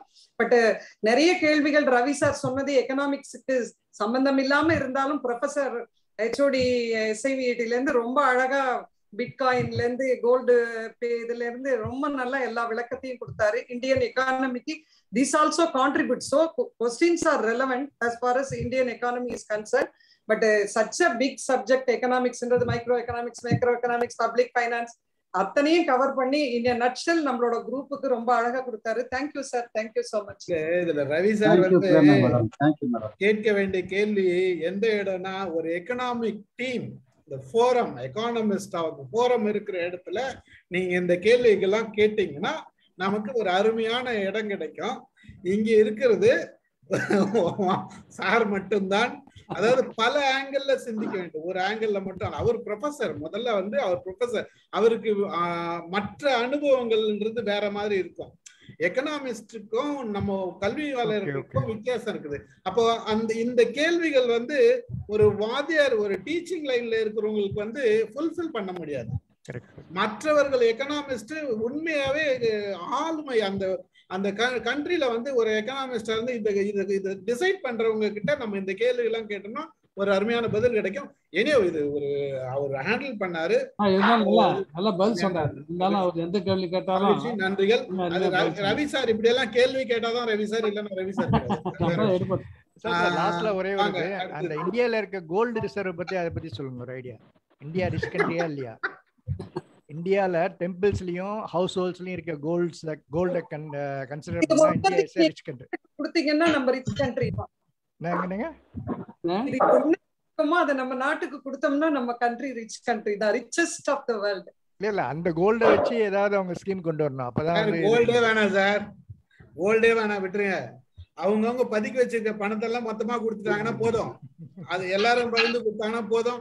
நம்மள மாதிரி பணக்காரன் உலகத்துல யாரும் கிடையாது. இது இருந்தாலே போதும். வாங்க குமார் பேசுங்களா அனைவருக்கும் வணக்கம். ஐயா நான் டாக்டர் பாலசரனுடைய ஸ்டூடெண்ட் பேசுறேன்.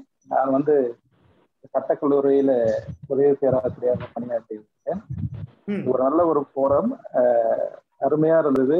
எங்க குருநாதர் அழகா ஒவ்வொரு பாயிண்டையும் எடுத்து உங்களுடைய புரியும்படியாக அவர் அழகா விவரிச்சு சொல்லியிருந்தாங்க என்னுடைய கருத்து என்னன்னா பொருளாதாரத்துல வந்து பாத்தீங்கன்னா பொருளாதாரம் ஒரு தனி மனிதனுடைய வாழ்க்கை தரத்தையும் அவனுடைய செலவினங்களையும் அவனுடைய வருமானத்தை பற்றி படிக்கிறது தான் அந்த பொருளாதாரம். இதுதான் மெயினா அதனுடைய காரணம் சொன்னேன் ஆனா இது வந்து எப்படி வந்து வேளாண்மையோட இயற்கை வளங்களோட ரிலேட் பண்ணி நம்ம படிக்கணும்? அது எப்படி நம்ம வந்து தனி மனிதனை வந்து உயர்த்தி அவங்களுடைய வருமானத்தை உயர்த்துவதற்கான ஒரு வழிமுறையை உருவாக்குறது அப்படின்றது ஒரு கான்செப்டை வந்து அன்னையில இருந்து இன்னைக்கு வரைக்கும் ஒரு ஒரு பெரிய ஒரு இடைவெளி இருக்குது இன்னைக்கும். அது வந்து நம்ம அந்த பாரதேசத்துல வந்து அதை கொண்டு வரணும். அது இது வரைக்கும் நம்ம அதை கொண்டு வரவில்லை. ஆனா நம்ம இதே வந்து நம்ம வளர்ந்த பொருளாதாரத்தை க- வளர்ந்த பொருளாதார கண்ட்ரிங்க எல்லாம் நிறைய இருக்குது. டெவலப்டு கண்ட்ரிஸ் எல்லாம் இருக்கு. அவங்களுடைய ஸ்ட்ரக்சர் பார்த்தீங்கன்னு சொன்னா எல்லாமே முழுக்க முழுக்க வந்து இண்டிவிஜுவலையும் வேளாண்மையும் சார்ந்த ஒரு பிளானிங் அந்த திட்டங்கள் எல்லாம் இருக்கு. ஆனா நம்ம கண்ட்ரியில மட்டும் பாத்தீங்கன்னா அது ஒரு இடைவெளி அப்படியே தான் இருக்கு. அதுக்கு கா அதுக்கு என்ன காரணம்ன்றது வந்து அது- இது இது வந்து ஒரு சின்ன ஒரு உதாரணத்தோடு நம்ம சொல்லலாம். நம்ம நாங்க சின்ன வயசா இருக்கும் பொழுது எங்கேயாவது ஒரு அஹ், வெளியே போனா கூட நம்மளை பாதுகாக்கிறதுக்காக ஒரு சொசைட்டி இருந்துச்சு இன்னைக்கு பாதுகாக்க வேண்டிய சொசைட்டி யாரும் இல்லை. எல்லாருமே செல்ஃப் டெவலப்மெண்ட்டும் தனி மனித முன்னேற்றத்துக்கு எல்லாருமே டைவர்ட் ஆயிட்டாங்க. நம்ம பேசுறது வந்து ஒரு பொதுநல கான்செப்ட் ஆனா இப்ப அந்த இது நம்ம சூழ்நிலை இப்போதைக்கு இல்லை. அப்படி இல்லாத போது பொருளாதாரத்துல நம்ம எப்படி நம்ம வந்து அது முன்னேற்ற முன்னேற்றம் அடைய எதிர்பார்க்க முடியும்? அப்போ நம்ம பேசிக்காவே வந்து ஒரு அந்த முகாந்திரத்துல நம்ம ஃபெயில் ஆயிருக்கிறோம். இப்போதைக்கு இப்ப இருக்கிற அந்த அப்ப நம்ம பொருளாதார திட்டத்துல இந்த பாடத்திட்டத்துல நம்ம இன்க்ளூட் பண்ணிட்டோம்னு சொன்னா அது ஒரு மாற்றத்தை கொண்டு வரும்ன்றது என்னுடைய தாழ்மையான கருத்து. அது சாருக்கு அது அவருடைய பார்வையில் எப்படி பார்க்கிறாருன்றது உங்கள் கருத்துக்களை அப்படியே ஏத்துக்கிற டாக்டர் நிர்மல்குமார் நீங்க சொன்னது நிதர்சனமான உண்மை அந்த கருத்து உண்மையிலே எல்லாருமே ஒத்துக்கூடிய ஒரு கருத்து தான். உங்களுடைய கருத்துக்கு நன்றி.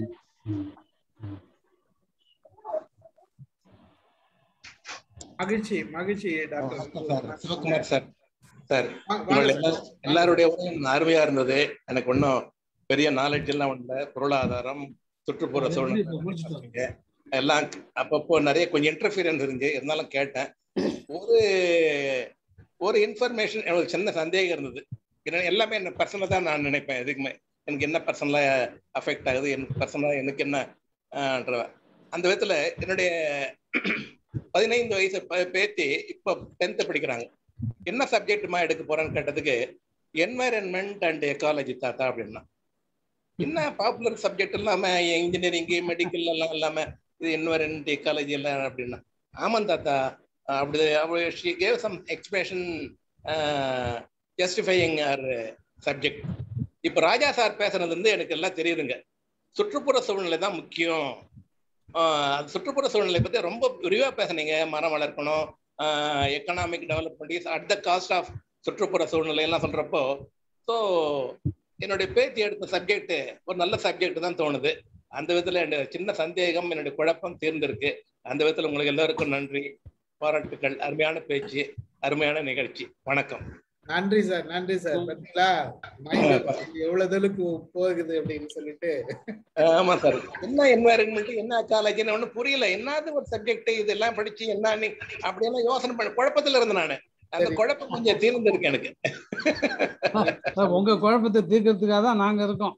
சந்தோஷம் சார் ரொம்ப சந்தோஷம் சார். இந்த நாலேஜ் எல்லாம் இந்த வயசுல தான் எனக்கு எல்லாம் தெரியுது சார். ஆமா. கொஞ்சம் கொஞ்சமா தெரியுதுங்க சார். சார் எல்லாமே எல்லா நேரத்திலும் கத்துக்க முடியாது சார். ஆமாங்க சார். நன்றி சார். வணக்கம். மகிழ்ச்சி மகிழ்ச்சி மகிழ்ச்சி. நன்றி இன்னும் சொல்ல போனா சார் காடு வளர்க்கணும் மரம் மரம் வளர்க்கணும் சொன்னீங்க. அது டைம் ரொம்ப அதிகமாயிடுச்சோ?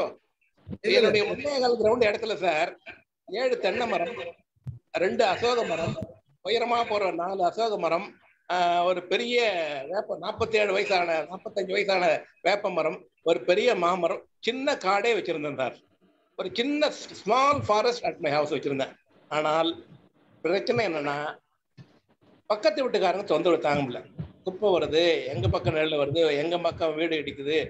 ஸோ வெட்ட வேண்டியதாக போச்சு. வேற வழி இல்லாம தென்னை மரத்துக்கு இருக்க ஏழு தென்னை மரத்துக்கு காயை வந்து பறிக்க முடியல யூஸ் பண்ண முடியல.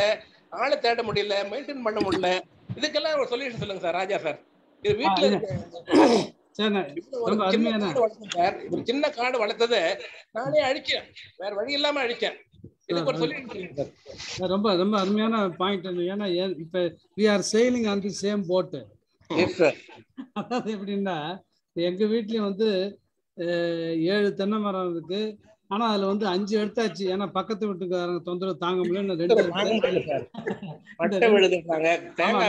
தேங்காய் விழுது. அவங்க சொல்றதும் கரெக்ட் தான். அது ரொம்ப நம்ம வந்து இளநீ சாப்பிடலாம்.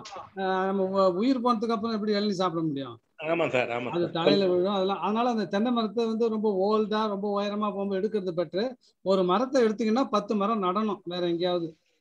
அதான் கான்செப்ட் நாங்க சுற்றுச்சூழல் கான்செப்ட்ல என்ன சொல்றோம்னா ஒரு மரத்தை நீங்க வெட்ட வேண்டிய சூழ்நிலை தான் வெட்டி தான் ஆகணும். பிகாஸ் இந்த இன்ட்ரெஸ்ட் ஆஃப் பீப்புள் சேஃப்டி அது எடுத்து ஆகணும். இப்ப வெளிநாட்டுலாம் போகும்போது பாத்தீங்கன்னா நல்லா ட்ரிம் பண்றாங்க. அப்படியே அந்த தென்னை மரத்தை வந்து அப்படியே வேரோட தூக்கி கொண்டு இன்னொரு இடத்துல வைக்கிறாங்க. அது வேணா. செய்யுங்க. உங்களுக்கு பணம் இருந்ததுன்னா ஒரு ஒரு லட்சம் ஐம்பதாயிரம் வைக்கணும். அது முடியலன்னா எடுத்து வர்றது பெட்ரு அதே மாதிரி தான். இப்ப நான் அப்படிதான் வந்து ஒரு பதினோரு மரத்துல ஏழு மரம் எடுத்துட்டேன். ஒன்பது மரத்துல இப்ப ஏழு இன்னும் ரெண்டு தான் இருக்கு அதுவும் ஆபத்தா இருக்கு. கிட்டத்தட்ட ஒரு நூறு அடி உயரம் இருக்கு தென்னை. ஆமா. மத்தபடி ஒரு பெரிய மாமரம் இருக்கு நெல்லி மரம் இருக்கு அசோக மரம் ரெண்டு இருக்கு. என்ன மாதிரி? நீங்களும் ரெண்டு அசோக மரம் அது கிட்டத்தட்ட முப்பது வருஷமா உயரமா இருக்கு நல்ல உயரமா இருக்கு. அதை ட்ரிம் பண்ணி விடலாம். அதை வெட்டணுன்ற அவசியம் இல்லை. ஆபத்தா இருக்கிற தென்னை மரத்தை எடுத்துறது பெட்டர் தான். ஏன்னா அது வந்து எடுத்துட்டு நீங்க இன்னும் வேற எங்கேயாவது இடத்துல தென்னை நடுங்க அல்லது ஒரு ஒரு மரத்தை எடுத்துனா எங்களுக்கு கணக்கு வந்து பத்து மரம் நடணும். Okay okay. அவ்வளவுதான். அது அது வந்து சரியா போயிடுது. தேங்க்யூ ஆமா. அதே நேரத்துல பக்கத்து வீட்டுக்காரங்கிட்ட சண்டை வளர்த்தணுன்ற அவசியம் இல்லை. ஏன்னா அவங்க சேஃப்டி ரொம்ப முக்கியம். இதுல இதுல ஒரு. நிகழ்ச்சி சொல்றேன் பாருங்க. எங்க பக்கத்து வீட்டுக்காரர் எங்க வாசல் அந்த ஸ்டேர் கேஸுக்கு பக்கத்திலே ஒரு தென்னை மரம் வச்சிருந்தாரு. அவங்க அதை கிளீன் பண்றது இல்ல ஏன்னா. அவங்களுக்கு வயசாயிட்டு தேங்க தேங்காயா விழுந்தது. நான் ஏறுவேன் டக்குன்னு என் முன்னாடி ஒரு இளநீ விழும். தேங்காய் விழும். அப்ப நான் என்ன சொன்னேன்னா இது நானும் நான் ஏழு எட்டு மரம் வச்சிருக்கேன். அவங்ககிட்ட என்ன சொன்னேன்னா என்னவா இந்த மாதிரி கொஞ்சம் ஒண்ணு க்ளீன் பண்ணுங்க இல்லைன்னா மரத்தை எடுத்துருங்க. நானே சொன்னேன் வழி இல்லை. ஏன்னா அதை விட உயிர் முக்கியமா இருக்கு. மரத்தை விட உயிர் முக்கியம் இல்லையா? மரம் தான் உயிர் கொடுக்குது. ஆனா ரொம்ப வெரி ஓல்டு அண்ட் ப்ராப்ளமேட்டிக்னு சொல்லும்போது எடுத்துட்டு நீங்க ஒரு பத்து மரம் வைங்க வெளியே எங்கேயாவது. ஆர் அதுக்கு அவங்க ஒரே சொன்ன பதில் என்னன்னா நீங்க ஸ்டேர்கஸ் ஏறும்பொழுது ஹெல்மெட் போட்டு ஏறுங்க உழுந்தாலும் ஒண்ணும் பண்ணாதுன்னாங்க. சார் ஒரு தென்னை மரம் வா- வைக்கிறதுக்கு சார் ஏழு ரூபாய் எட்டு ரூபாய் கொடுத்து நான் வாங்கினேன் சார். ஒரு தென்னை மரத்தை வெட்டுறதுக்கு ஐயாயிரம் ரூபாய் கொடுத்தேன் சார் நானு. ஒரு தென்னை மரம் வெட்டுறதுக்கு ஐயாயிரம் ரூபாய். அது அது வந்து அது வந்து நம்ம செஞ்சுதான் ஆகணும். ஏன்னா நம்முடைய சேஃப்டி முக்கியம். மரம் வளர்க்கறதே மரம் வளர்க்கறதே நம்ம உயிர் வாழறதுக்கும் அது சேஃப்டிக்காக தான் வளர்க்குறோம். அதுவே பிரச்சனையா இருக்கும் பொழுது அதுக்கு சில இந்த- மாதிரி சில இதில் பண்ணணும். ஒன்று வெட்டிட்டு இன்னும் ஒரு பத்து வளர்க்கும் நம்ம மனசு கஷ்டமா தான் இருக்கு. ஒரு ஓகே. மரத்தை வெட்டும்போது மனது கஷ்டமா தான் இருக்கு. அதை வெட்டிட்டு வேற இடத்துல மரங்களை வளர்க்கணும். அதுதான். என்ன போல நீங்களும் கஷ்டப்பட்டிருக்கீங்க. சந்தோஷம் சார் நன்றிகள். நன்றிகள். வணக்கம். Bala sir Bala Saravanan sir. ரொம்ப நன்றி சார். ரொம்ப இந்தியாவுடைய பொருளாதாரத்தை எளிமையா சொன்னீங்க. அது இல்லாம இன்னும் irrelevant-ஆ சும்மா அந்த கிரிப்டோ கரன்சி அப்புறம் அந்த கோல்டு காயின்லாம் வந்து அது வேற மாதிரி உள்ள பொருளாதாரம். அது இப்போதைக்கு அது தனி கிளாஸே நடத்தலாம். அருமையா பண்ணீங்க. இப்ப என்னன்னு சொன்னா ராஜா ராஜா சார் சொன்ன மாதிரி இயற்கையோட சேர்ந்து பொருளாதாரம் வளரணுங்கிறாங்க ஆரம்பத்துல வந்து நம்ம குழந்தைகளுக்கு மஞ்சள் தேய்ச்சி தேய்ச்சி வளர்த்தா இப்போ அது என்னது ஃபேரன் லெவலில் நம்ம தேடுறோம். அதை தேட ஆமா. வேண்டி இருக்குது பொதுவாக எல்பிஜியில் வந்து லிபரலைசேஷன் ஓகே ப்ரைவேடைசேஷன் ஓகே இந்த குளோபலைசேஷன் பண்ணதுனால தானே வெளிநாட்டு மோகம் நம்மளை வந்து ரொம்ப வேதனைக்கு உள் உட்படுத்தி இருக்கிறது அந்த பொருளாதாரம் ரொம்ப வே அதாவது வேதனைக்குறையான ஒரு பொருளாதாரமா நினைக்கிறாத. காரணம் என்னதுன்னா பொருளாதாரம் அதுலயே தாரம் இருக்குது. தாரத்தான் தான் மெயினா பொருளாதாரத்தை காப்பாற்றணும் அவங்களே இந்த குளோபலைசேஷன் அதை போடுங்க இதை போடுங்க இப்படி நம்மள நம்மளே அதாவது அப்கிரேட் பண்றது பத்தி நம்முடைய உடைமைகளை வச்சுக்கிட்டு நம்முடைய வசதி வாய்ப்புகளை வச்சுக்கிட்டு நமக்கு தரக்கூடிய அந்த தனிமங்கள் அதில் வச்சுக்கிட்டு நம்ம நம்ம நாட்டுடைய சுகாதாரத்துக்குன்னா நம்ம வளர்க்குறது வந்து பொருளாதார சிறப்பா அல்லது வெளிநாட்டு முகத்துங்க கொண்டு வந்து இந்திய பொருளாதாரத்தை அடிமையாக்கி அழிக்கிறது பொருளாதாரமான்னு தெரியல. இப்போ நம்ம சொல்றோம் நீங்க சொன்ன மாதிரி இந்த பிரைவேட்ல வந்து அக்ரிகல்ச்சர் தான் பிரைமரியில சொல்றீங்க. அக்ரிகல்ச்சர் போராட்டம் ரெண்டு வருஷமா அந்த போராடுறாங்க. பொதுவாக அரசை பத்தி பேசக்கூடாது சொல்றாங்க அந்த அந்த ஃபார்மரோட கதி என்ன? வில்லேஜ் தான் கிராமங்கள் தான் நம்மளை உயர்த்துங்கிறத வந்து இந்தியாவில் நம்ம வந்து எல்லா தலைவரும் பேசுறோம். எல்லா ஆளுமைகளும் பேசுறோம். ஆனா போராட்டம் பண்ணா நம்ம செய்ய மாட்டேங்கிறோம். இது ஒரு குறையா இருக்குது. ரெண்டா உங்ககிட்ட ஒரே ஒரு கேள்வி சார். இப்ப நம்ம ஜிடிபின்னு சொல்றோம். எல்லா மாநிலத்தினுடைய ப்ரொடக்ஷனை வச்சுட்டு தான் நம்ம இந்தியாவோட ஜிடிபியை கணிக்கப்படுகிறது. அப்படிதானே அதே நேரத்துல. தண்ணி தன் தன்னிறைவு பெற்ற இப்ப தமிழ்நாடு போன்ற சிறப்புக்குரிய கல்வியாகட்டும் மற்ற தனிமங்களாகட்டும் பொருளாதார சூப்பரா இருக்கிறாங்க. ஆனா அந்த மாநிலத்திற்கு தண்ணி தாண்டா சண்டை பிடிக்கிறானுவா? ஜிடிபியில அவங்களுடைய பாயிண்ட உயர்த்தத்துக்கு தமிழ்நாடு தேவைப்படுது. தேவைகளை கேட்கும்போது போராட்டம் பண்ண வேண்டியிருக்கு. அப்ப எப்படி. பொருளாதார நிலை மந்த நிலையை தொடருமா? இந்த மாதிரி இந்த விளிம்பு நிலையில் இருக்கக்கூடிய பொருளாதாரம் மற்ற மாநிலங்களையும் குறை சொல்ல விரும்பல இருந்தாலும் நம்ம போராடி நம்ம மக்கள் உழைத்து உண்ணுக்கு வந்த அந்த பொருளாதாரத்தை ஒன்றிய அரசோ அல்ல மத்திய அரசோ நம்மள ஒரு டிகினிட்டி நம்மள மதிப்பு இல்லாம குறைத்து இடப்படுகிறா என்பது தெரியல. அதை விளக்கம் சொல்லுங்க. ரெண்டாவது இங்க ஒரு சகோதரி சொன்னாங்க நமக்கு கல்வி வளர்ச்சி இருந்தாலும் கூட அந்த அந்த கல்வியினுடைய அந்த உதவியை வந்து நம்ம இந்தியாவில் செலுத்தாம வெளிநாட்டு கொண்டு போறோம்னு சொல்லி படித்தவருக்கு ஒழுங்கான வேலை வாய்ப்பு இந்தியா எங்க ஏற்படுத்தி தருது? ஒரு உறுதியான ஒரு மரியாதையான வேலை நமக்கு வெளியிடத்துல கேட்கும்போது அவன் அங்கதான் பாய்வான். அவனுக்குன்னு ஒரு குடும்ப ஃபேமிலிஸ் இருக்குது பேக்ரவுண்ட் பண்ண இருக்குது எல்லாமே இருக்குது. இதெல்லாம் வந்து பொருளாதாரத்தினுடைய சமநிலையை எப்போ ஏற்படுத்தும் இந்தியா என்பது தெரியவில்லை. நம்ம பெருமை அடைத்துக் கொள்கிறோம். உலகத்துல இந்த இடத்துல இந்த சதவீதத்துல இருக்கிறோம் இப்படி இருக்கிறோம் அப்படி இருக்கிறோம். ஒரு பொருளாதார வழக்கத்துக்கு உயிர் அதாவது முயற்சி எடுக்காத கவர்மெண்ட் பெர்த் கண்ட்ரோல்ல முயற்சி எடுக்குது. என்ன சார் இது? எவ்வளவு தன்னிறைவுபட்ட நாடுகள்லாம் பெர்த் கண்ட்ரோல்ல அது வந்து ரொம்ப வீரியமா செயல்படாட்டா? செயல்படவில்லை. நம்ம தான் அதை பெர்த் கண்ட்ரோல் கொண்டு வரோம் இப்ப அது தடைப்பட்டு இருக்குன்னு நினைக்கிறேன். பொருளாதார வீழ்ச்சி இருந்து கொண்டே இருக்கிறது பொதுமக்களாகிய நாமளும் அதில் விழிப்புணர்வு வேணும். அரசுகளும் துணை பெறுக வேணும். இதுதான் என்னோட கருத்தா தெரியும் சார். நீங்க இதை மட்டும் சொல்லுங்க. இந்த முதல் கேள்வி கேட்டேன்ல. ஆமா சார். அதாவது ஒரு நாட்டினுடைய பொருளாதார வளர்ச்சியை தீர்மானிக்கிறது ஜிடிபி சொன்ன கிராஸ் டொமஸ்டிக் ப்ராடக்ட் ஒரு நாட்டினுடைய மொத்த ஒரு ஆண்டுடைய மொத்த பண்டம் பணிகளை உற்பத்தி உற்பத்திக்கிறோம் அது ஒரு மாநிலத்துக்கு மாநிலம் மாறுது பஞ்சாப்லாம் பார்த்தீங்கன்னாக்கா ஜிடிபி வந்து ஹை லெவல்ல இருக்கு.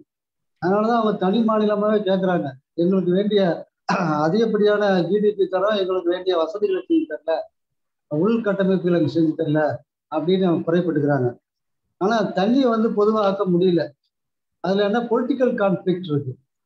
அதை வந்து எல்லா மாநில முதலமைச்சர்களும் பிரதம மந்திரி தலைமையில உட்கார்ந்து ஒன்று பேசி அதை செய்ய வேண்டிய காரியம். அந்த எந்த பிரதம மந்திரி வந்தாலும் அதை பொலிட்டிக்கல் கான்ஃபிளிக்ட்ல அரசாங்கம் அங்க வரணுங்கிறதுக்காக அதை மறைமுகமாக அதை அந்த சட்டத்தை கையில் எடுக்க மாட்டேங்கிறாங்க தான் உண்மை. அதை யாரு என்ன வழி சொல்றதுன்னு தெரியல. அப்படிதான் ஒரு சூழல் போயிட்டு இருக்கு தண்ணி எது எல்லாத்துக்கும் பொதுவானது அந்த தண்ணியை கொடுக்கறதுல பெரிய பிரச்சனைகள் இருக்குது. அது எத்தனையோ சட்டம் தீர்ப்பாயம்லாம் போடுறோம். இந்த தீர்ப்பாயத்தை முழுமையாக நிறைவேற்றுவதற்கு மத்திய அரசும் ஒத்துழைக்கல. அந்த மாநில அரசும் ஒத்துழைக்கல. அதுதான் நம்ம பாக்குறோம் அந்தந்த அரசு ஒரே ஒரு கேள்வி. நீங்க மலேசியா போன இடத்துல அங்க உள்ள மரத்தெல்லாம் ம- மலேசியன் டிம்பர்லாம் வெட்டுறாங்க. ஏன் மரத்தை வெட்டுறீங்க?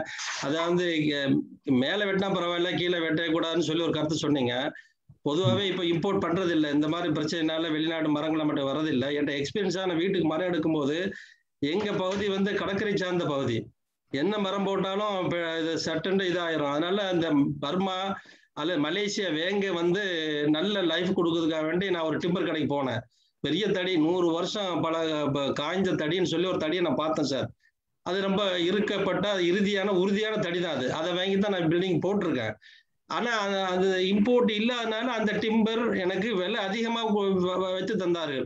அதுதான் பெரிய மனவர் தான். அவங்களுக்கு வந்து மரம் நிறைய இருக்கு மலேசியால அதனால வெட்டுறாங்க. நீ அங்க போய் வெட்ட வேணாம்னு சொன்னதால இங்க விலையேறி போச்சுன்னு நினைக்கிறேன் நான்.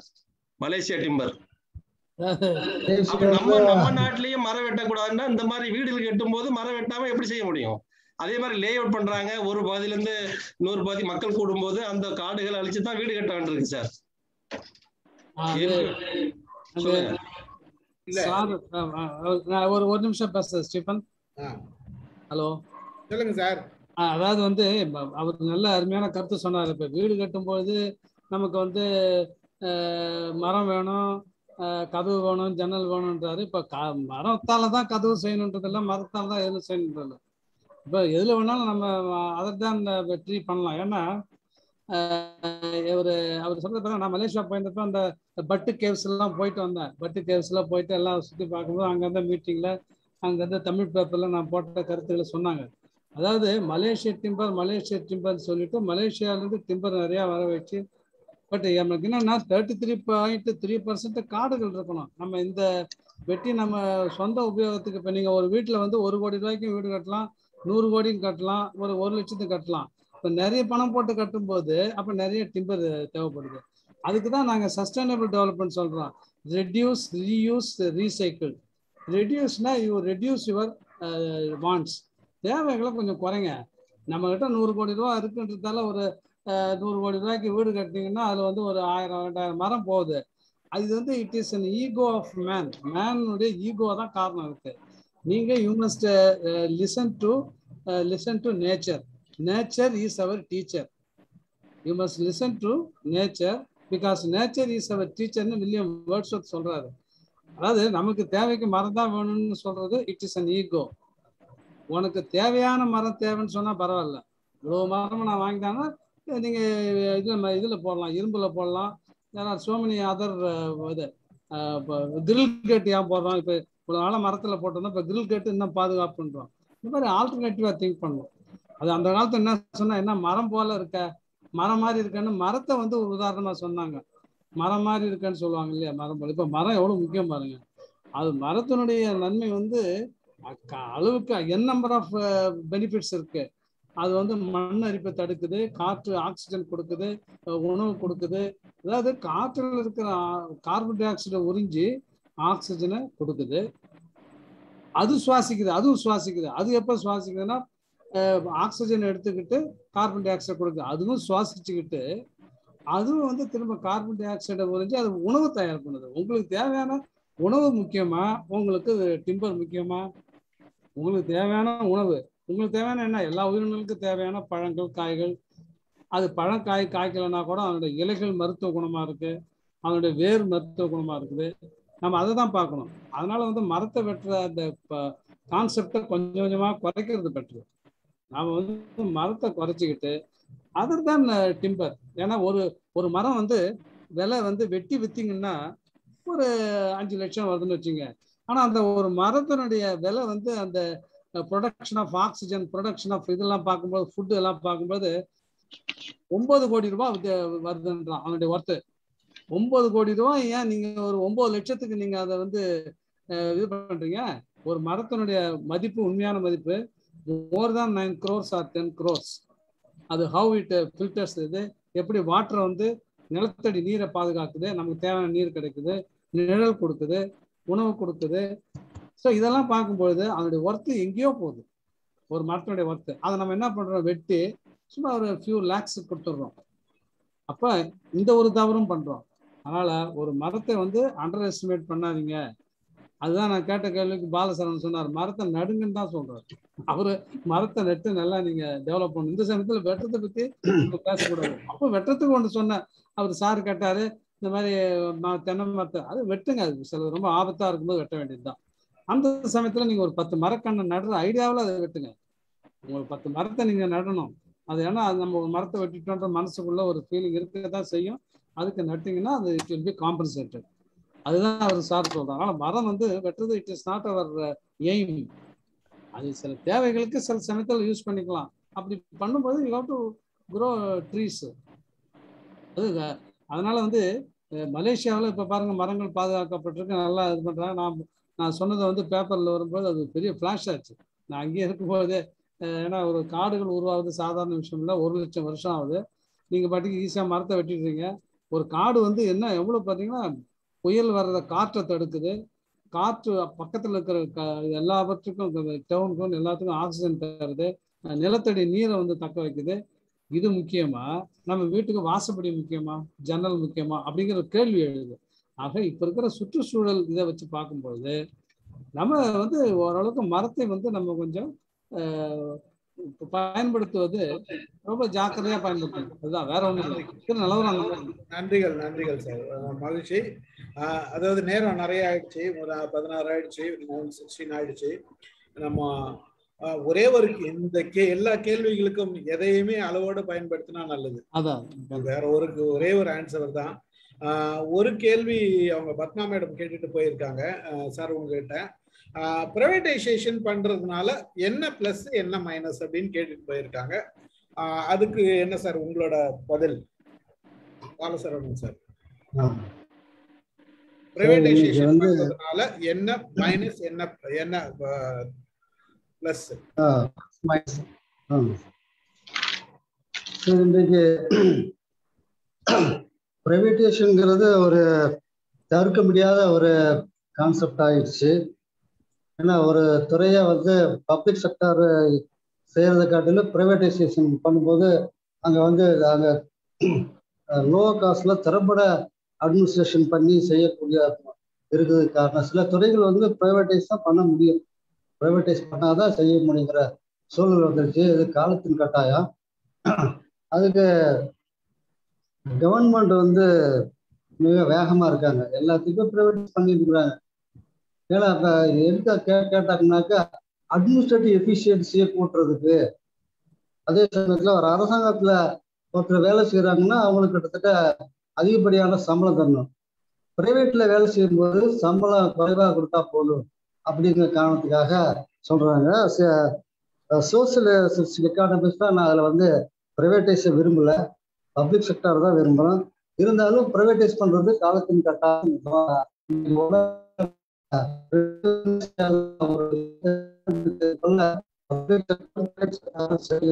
சில வேலைகளை செய்ய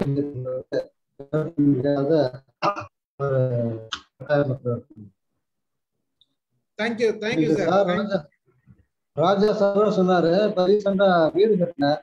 அஹ் என்ன வீட்டை சுத்தி மரமான்னு கேட்டாங்கல்ல? வீட்டுக்குள்ள வீடுங்க. சொல்ல கான்செப்ட்ல தான் வீடு மரத்து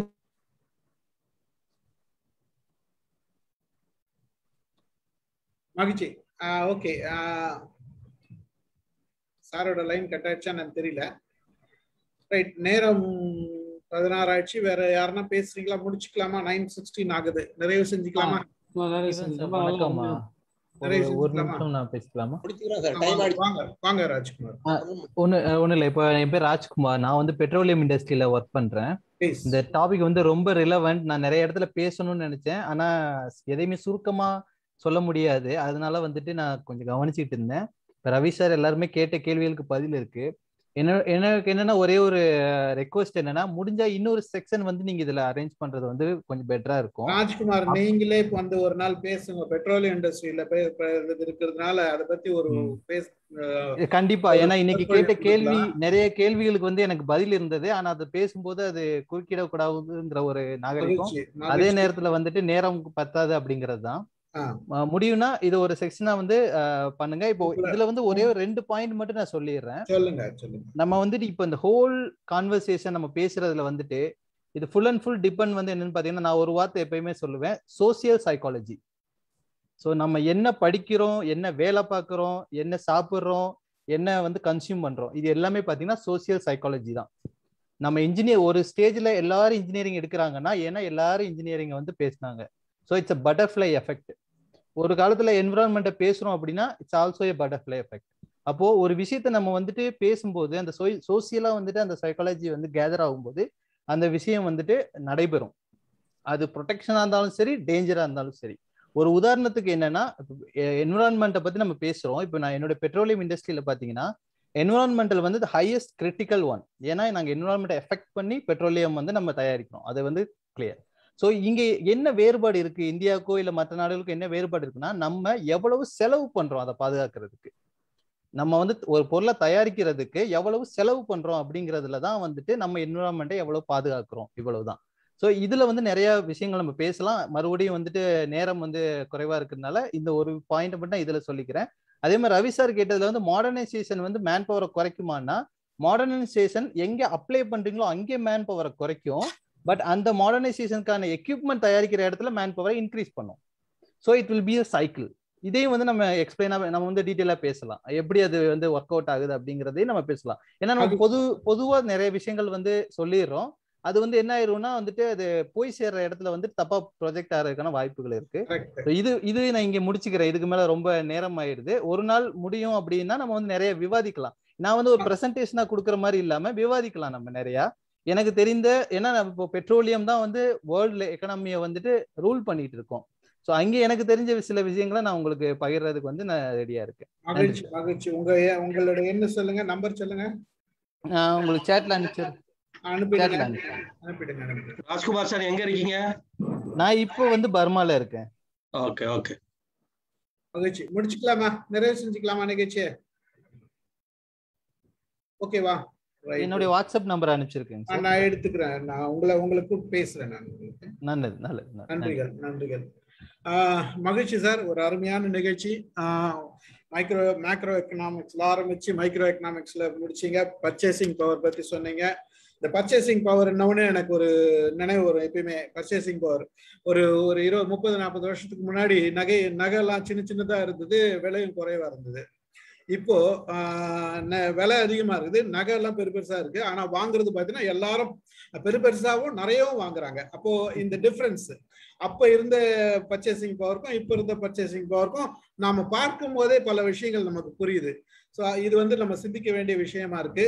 அப்புறம் நம்ம வந்து நாட்டை நம்ம நாட்டை தவிர எல்லா நாடும் நல்ல நாடுன்ற ஒரு பார்வை வச்சிருக்கோம் அதே நேரத்தில் இன்னொரு கான்ட்ராவர்சி சொல்றோம். இவனுக்கு மொத்த உலகமும் சே- மொத்த நாடுகளும் சேர்ந்து ஏதோ ஒரு நாலு பேரை வச்சுட்டு அவங்க தீர்மானிக்கிறது தான் மற்ற நாடுகள்லாம் நிறைவு பண்றாங்கன்ற இன்னொரு கான்ட்ராவர்சி வச்சிருக்கோம். இந்த மாதிரி ரெண்டு கான்ட்ராவர்சியில நம்ம சிந்திக்கிறோம். இது இது வந்து ஒரு முரண்பாடான கருத்துக்களா இல்லை. நம்ம ஒவ்வொரு நாட்டிலையும் பல நன்மைகளும் இருக்கு பல தீமைகளும் இருக்குது. அது அந்தந்த சூழ்நிலைக்கு தகுந்த மாதிரி மாறுது. நாம ஒரு இடத்துல போய் நம்ம பார்க்கிற விஷயங்கள் மட்டுமே நம்ம வச்சு பேசுறத விட அங்க இருக்கிற மக்களையும் அவங்களையும் பார்த்து பேசும்போது தான் அங்க இருக்கிற அவங்களோட பல மைனஸ் பாயிண்ட்லாம் நமக்கு தெரியும். இதையும் நம்ம சிந்திக்க வேண்டிய விஷயமா இருக்குது. ஆஹ் சுற்றுச்சூழல் மாசு பெறாமல் இருக்க வேண்டும். அது வந்து ரொம்ப முக்கியமான இதுதான். நம்ம ஏற்கனவே ஒரு சுற்றுச்சூழல் பத்தி பேசிட்டோம். தாய்மொழி கல்வி அவங்க சொன்னாங்க நளினி மேடம் சொன்னாங்க தாய்மொழி கல்வி. இது ரொம்ப முக்கியமான விஷயம். ஆனா நமக்கு இந்த முக்கியமான விஷயமான்றதுதான் இங்க கேள்வி. இப்போ ஜப்பான் என்ன பண்ணான்னா அவனோட ஹீரோஷிமா அணுகுண்டு இது பாதிப்புக்கு அப்புறம் அவன் செஞ்ச முதல் வேலை வந்து எல்லா அறிவியல் நூல்களையும் அவனோட மொழிக்கு மாத்தினான். என்ன அட்வான்டேஜ்னா அந்த முழு கண்ட்ரியும் அவன் முழு நாடும் ஒரு மொழியை ஃபாலோ பண்றது. ஆனா நம்ம அப்படி இல்லை. நம்மளுடைய மொழிகள் ஒவ்வொரு ஒவ்வொரு மாநிலத்துக்கு தகுந்த மாதிரி மாறுது. அப்போ தாய்மொழியில படிக்கும் பொழுது நம்ம தாய்மொழியிலேயே ஒழுங்கா கத்துக்கணுமான்னு தெரியல. முழுக்க முழுக்க இங்கிலீஷ் புக்கை எடுத்துட்டு ஒரு ஒரு நம்ம இன்ஜினியரிங் புக்கை எடுத்துட்டு ஆங்கிலத்தை படிக்கிறது ஒரு பக்கம் இருப்போம் படிப்போம். அதே தமிழ் புக்கு படிக்கும்போது ஆங்கிலத்தை புரியுற லெவலுக்கு புரிதல் இருக்கிற லெவலுக்கு தமிழ்ல இருக்குதான்னு பார்த்தா இல்ல பலருக்கு இல்ல. ஏன்னா அந்த தமிழோட வளம் நம்ம இன்னும் வளர்த்துக்க வேண்டியது இருக்கு. நம்மளோட மொழியை நம்ம வளர்ந்து வளர்த்துக்க வேண்டியது இருக்கு. அந்த வளர்ச்சி இருந்தா தமிழ் மொழி வந்து இன்னும் நாம் தாய்மொழியில படிக்கும்போது இன்னும் சிறப்பா இருக்கும் அப்படின்றது ஒரு நோக்கம். ஆஹ் ரவி சார் சொன்னாரு எல்லாரும் தாய்மொழியில தான் படிக்கிறாங்க. ம- மத்த கண்ட்ரிலாம் அந்த வேலை வாய்ப்பு இல்லாத இருக்கா அப்படின்னா பல காரணங்கள் இருக்குது. இதுக்கு தாய்மொழியில படிச்சா கூட நமக்கு இங்க பாத்தீங்கன்னா லேபர் லேபர் கம்மியா இருக்கு. என்ன காரணம்? லேபர் கம்மியா இருக்குது. என்ன காரணம் அப்படின்னா நம்ம இன்ஜினியரிங் காலேஜ் வச்சிட்டோம். எல்லாரையும் இன்ஜினியர் ஆக்கிட்டோம். எல்லாரும் இன்ஜினியர் படிச்ச பிறகு என்ன ந- என்ன ஒரு மனசுல ஓடுது அப்படின்னா நம்ம போய் லேபர் லேபர் ஒர்க் பார்க்கணுமா? அப்படின்றது ஒரு இது. தேவை என்ற பட்சத்துல பல ஏழை குடும்பங்கள் இன்ஜினியரிங் படிச்சவங்க ஹோட்டல்ல பிளேட் துடைக்கிறவனும் இருக்கான் கொத்து கொ- கொத்தனார் வேலை செய்யறவன் இருக்கான் அது தேவைன்ற பட்ச- பட்சத்துல. மற்ற நேரங்கள்ல பாத்தீங்கன்னா இந்த லேபர் பிரச்சனையில பல ப- பல பிரச்சனைகள் இருக்கு. மற்றவர்களை நாம கடன் வாங்க வேண்டிய மற்ற நா- மாநிலத்தில இருந்து வரவங்களை நம்ம வேலை வாங்க வேண்டிய சூழ்நிலை இருக்கு. நாம இங்கிருந்து மற்ற நாளில் போய் வேலை வாங்க வேலை செய்யறோம் சோ அந்த பிரச்சனைகளும் இப்படி பல கோணங்கள்ல நாம சிந்திக்க வேண்டிய விஷயமா இருக்குது. பாப்புலேஷன் பாப்புலேஷன் தான் முதல்ல வந்து நமக்கு வீக்கா இருந்தது.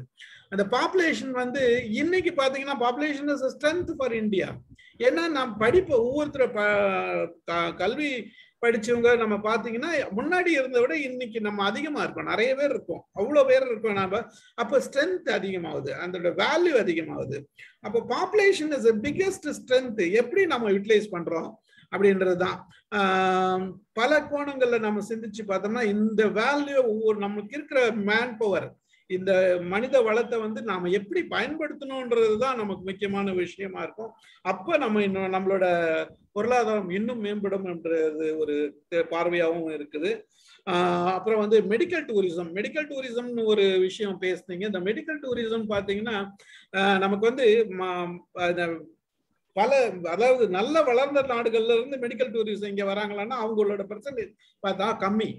பல நம்மளுடைய சின்ன சின்ன கண்ட்ரிகள்லாம் வளராத நாடுகள் பல இருக்கு. அவங்கெல்லாம் வந்து இங்க இருந்து மெடிக்கல் டூரிசம் எடுத்துட்டு வராங்க. இங்க வந்துட்டு மெடிக்கல் எடுத்துட்டு போறாங்க கத்துட்டு போறாங்க. இந்த மாதிரி விஷயங்கள் நடக்குது. இப்படிதான் நடக்குது தவிர நம்மளோட மெடிக்கல் டூரிசம்ன்றது பல விதத்துல நமக்கு நல்ல டெவலப்மெண்ட் இருக்குது. இங்கேயும் நல்ல டெவலப்மெண்ட் இருக்குது. பல விஷயங்கள்ல நாம வெளிநாடுகள்ல தெரிஞ்சுதான் இருக்கிறோம். ஆராய்ச்சிகள் இங்க கம்மி. பல நாடுகள்ல ஆராய்ச்சிகள் அதிகம். நம்ம அவங்க அவங்க எல்லா விஷயத்துலையும் ஒரு பக்கம் எந்த அளவுக்கு நம்மளோட வளர்ச்சி இருக்குதோ அதே நேரத்தில் ஆராய்ச்சிகள் எல்லா விஷயத்துலையும் நிறைய இருக்கும். நம்மளுடைய ஆராய்ச்சிகள் பார்த்தீங்கன்னா எத்தனை பேர் நம்ம ஆராய்ச்சி பண்ணுறோம் நம்ம காசு கொடுத்துல பிஹெச்டி டிகிரி வாங்குறோம். அந்த மாதிரி ஒரு சூழ்நிலை இருக்கும்போது ஆராய்ச்சிகள் எந்த அளவுக்கு நம்ம குவாலிட்டியா இருக்குதுன்றதெல்லாம் நம்ம பார்க்க வேண்டிய விஷயங்களா இருக்கு. இத்தனை விஷயங்கள் நம்ம அலசணும் ஒரு அருமையான நிகழ்ச்சி. ஆரம்பிச்சப்போ சிறு தகவ தடங்கல்களா இருந்தாலும் நிறைவு பெறுது. முடியுமா முடியாதான்ற சூழ்நிலையில் நாம இருக்கோம். இருந்ததுல இது கடைசியா ஒரு அருமையான பஞ்ச் சொன்னார் நம்ம Raja sir. Listen to nature nature is our teacher இதை நம்ம ஃபாலோ பண்ணுவோம். அதோட இந்த நிகழ்ச்சியை நிறைவு செய்கிறேன். நிகழ்ச்சியில் கலந்து கொண்ட அனைவருக்கும் வணக்கங்கள் கூறி சிறப்பான நன்றி திரு சரவ பாலசரவணன் ஐயா அவர்களுக்கு நன்றியை தெரிவித்துக் கொண்டு வறுமையான உழை உரை வழ- வழங்கியதற்காக எங்கள் அன்பும் மகிழ்வும் உங்களுக்கு ஆஹ் முகநூல் வாயிலாக பார்த்த அனைவருக்கும் நன்றி கூறி நிகழ்ச்சியை நிறைவு செய்கிறேன். மகிழ்ச்சி நன்றிகள். வணக்கம் வணக்கம். நன்றி வணக்கம் ஐயா. நன்றி வணக்கம்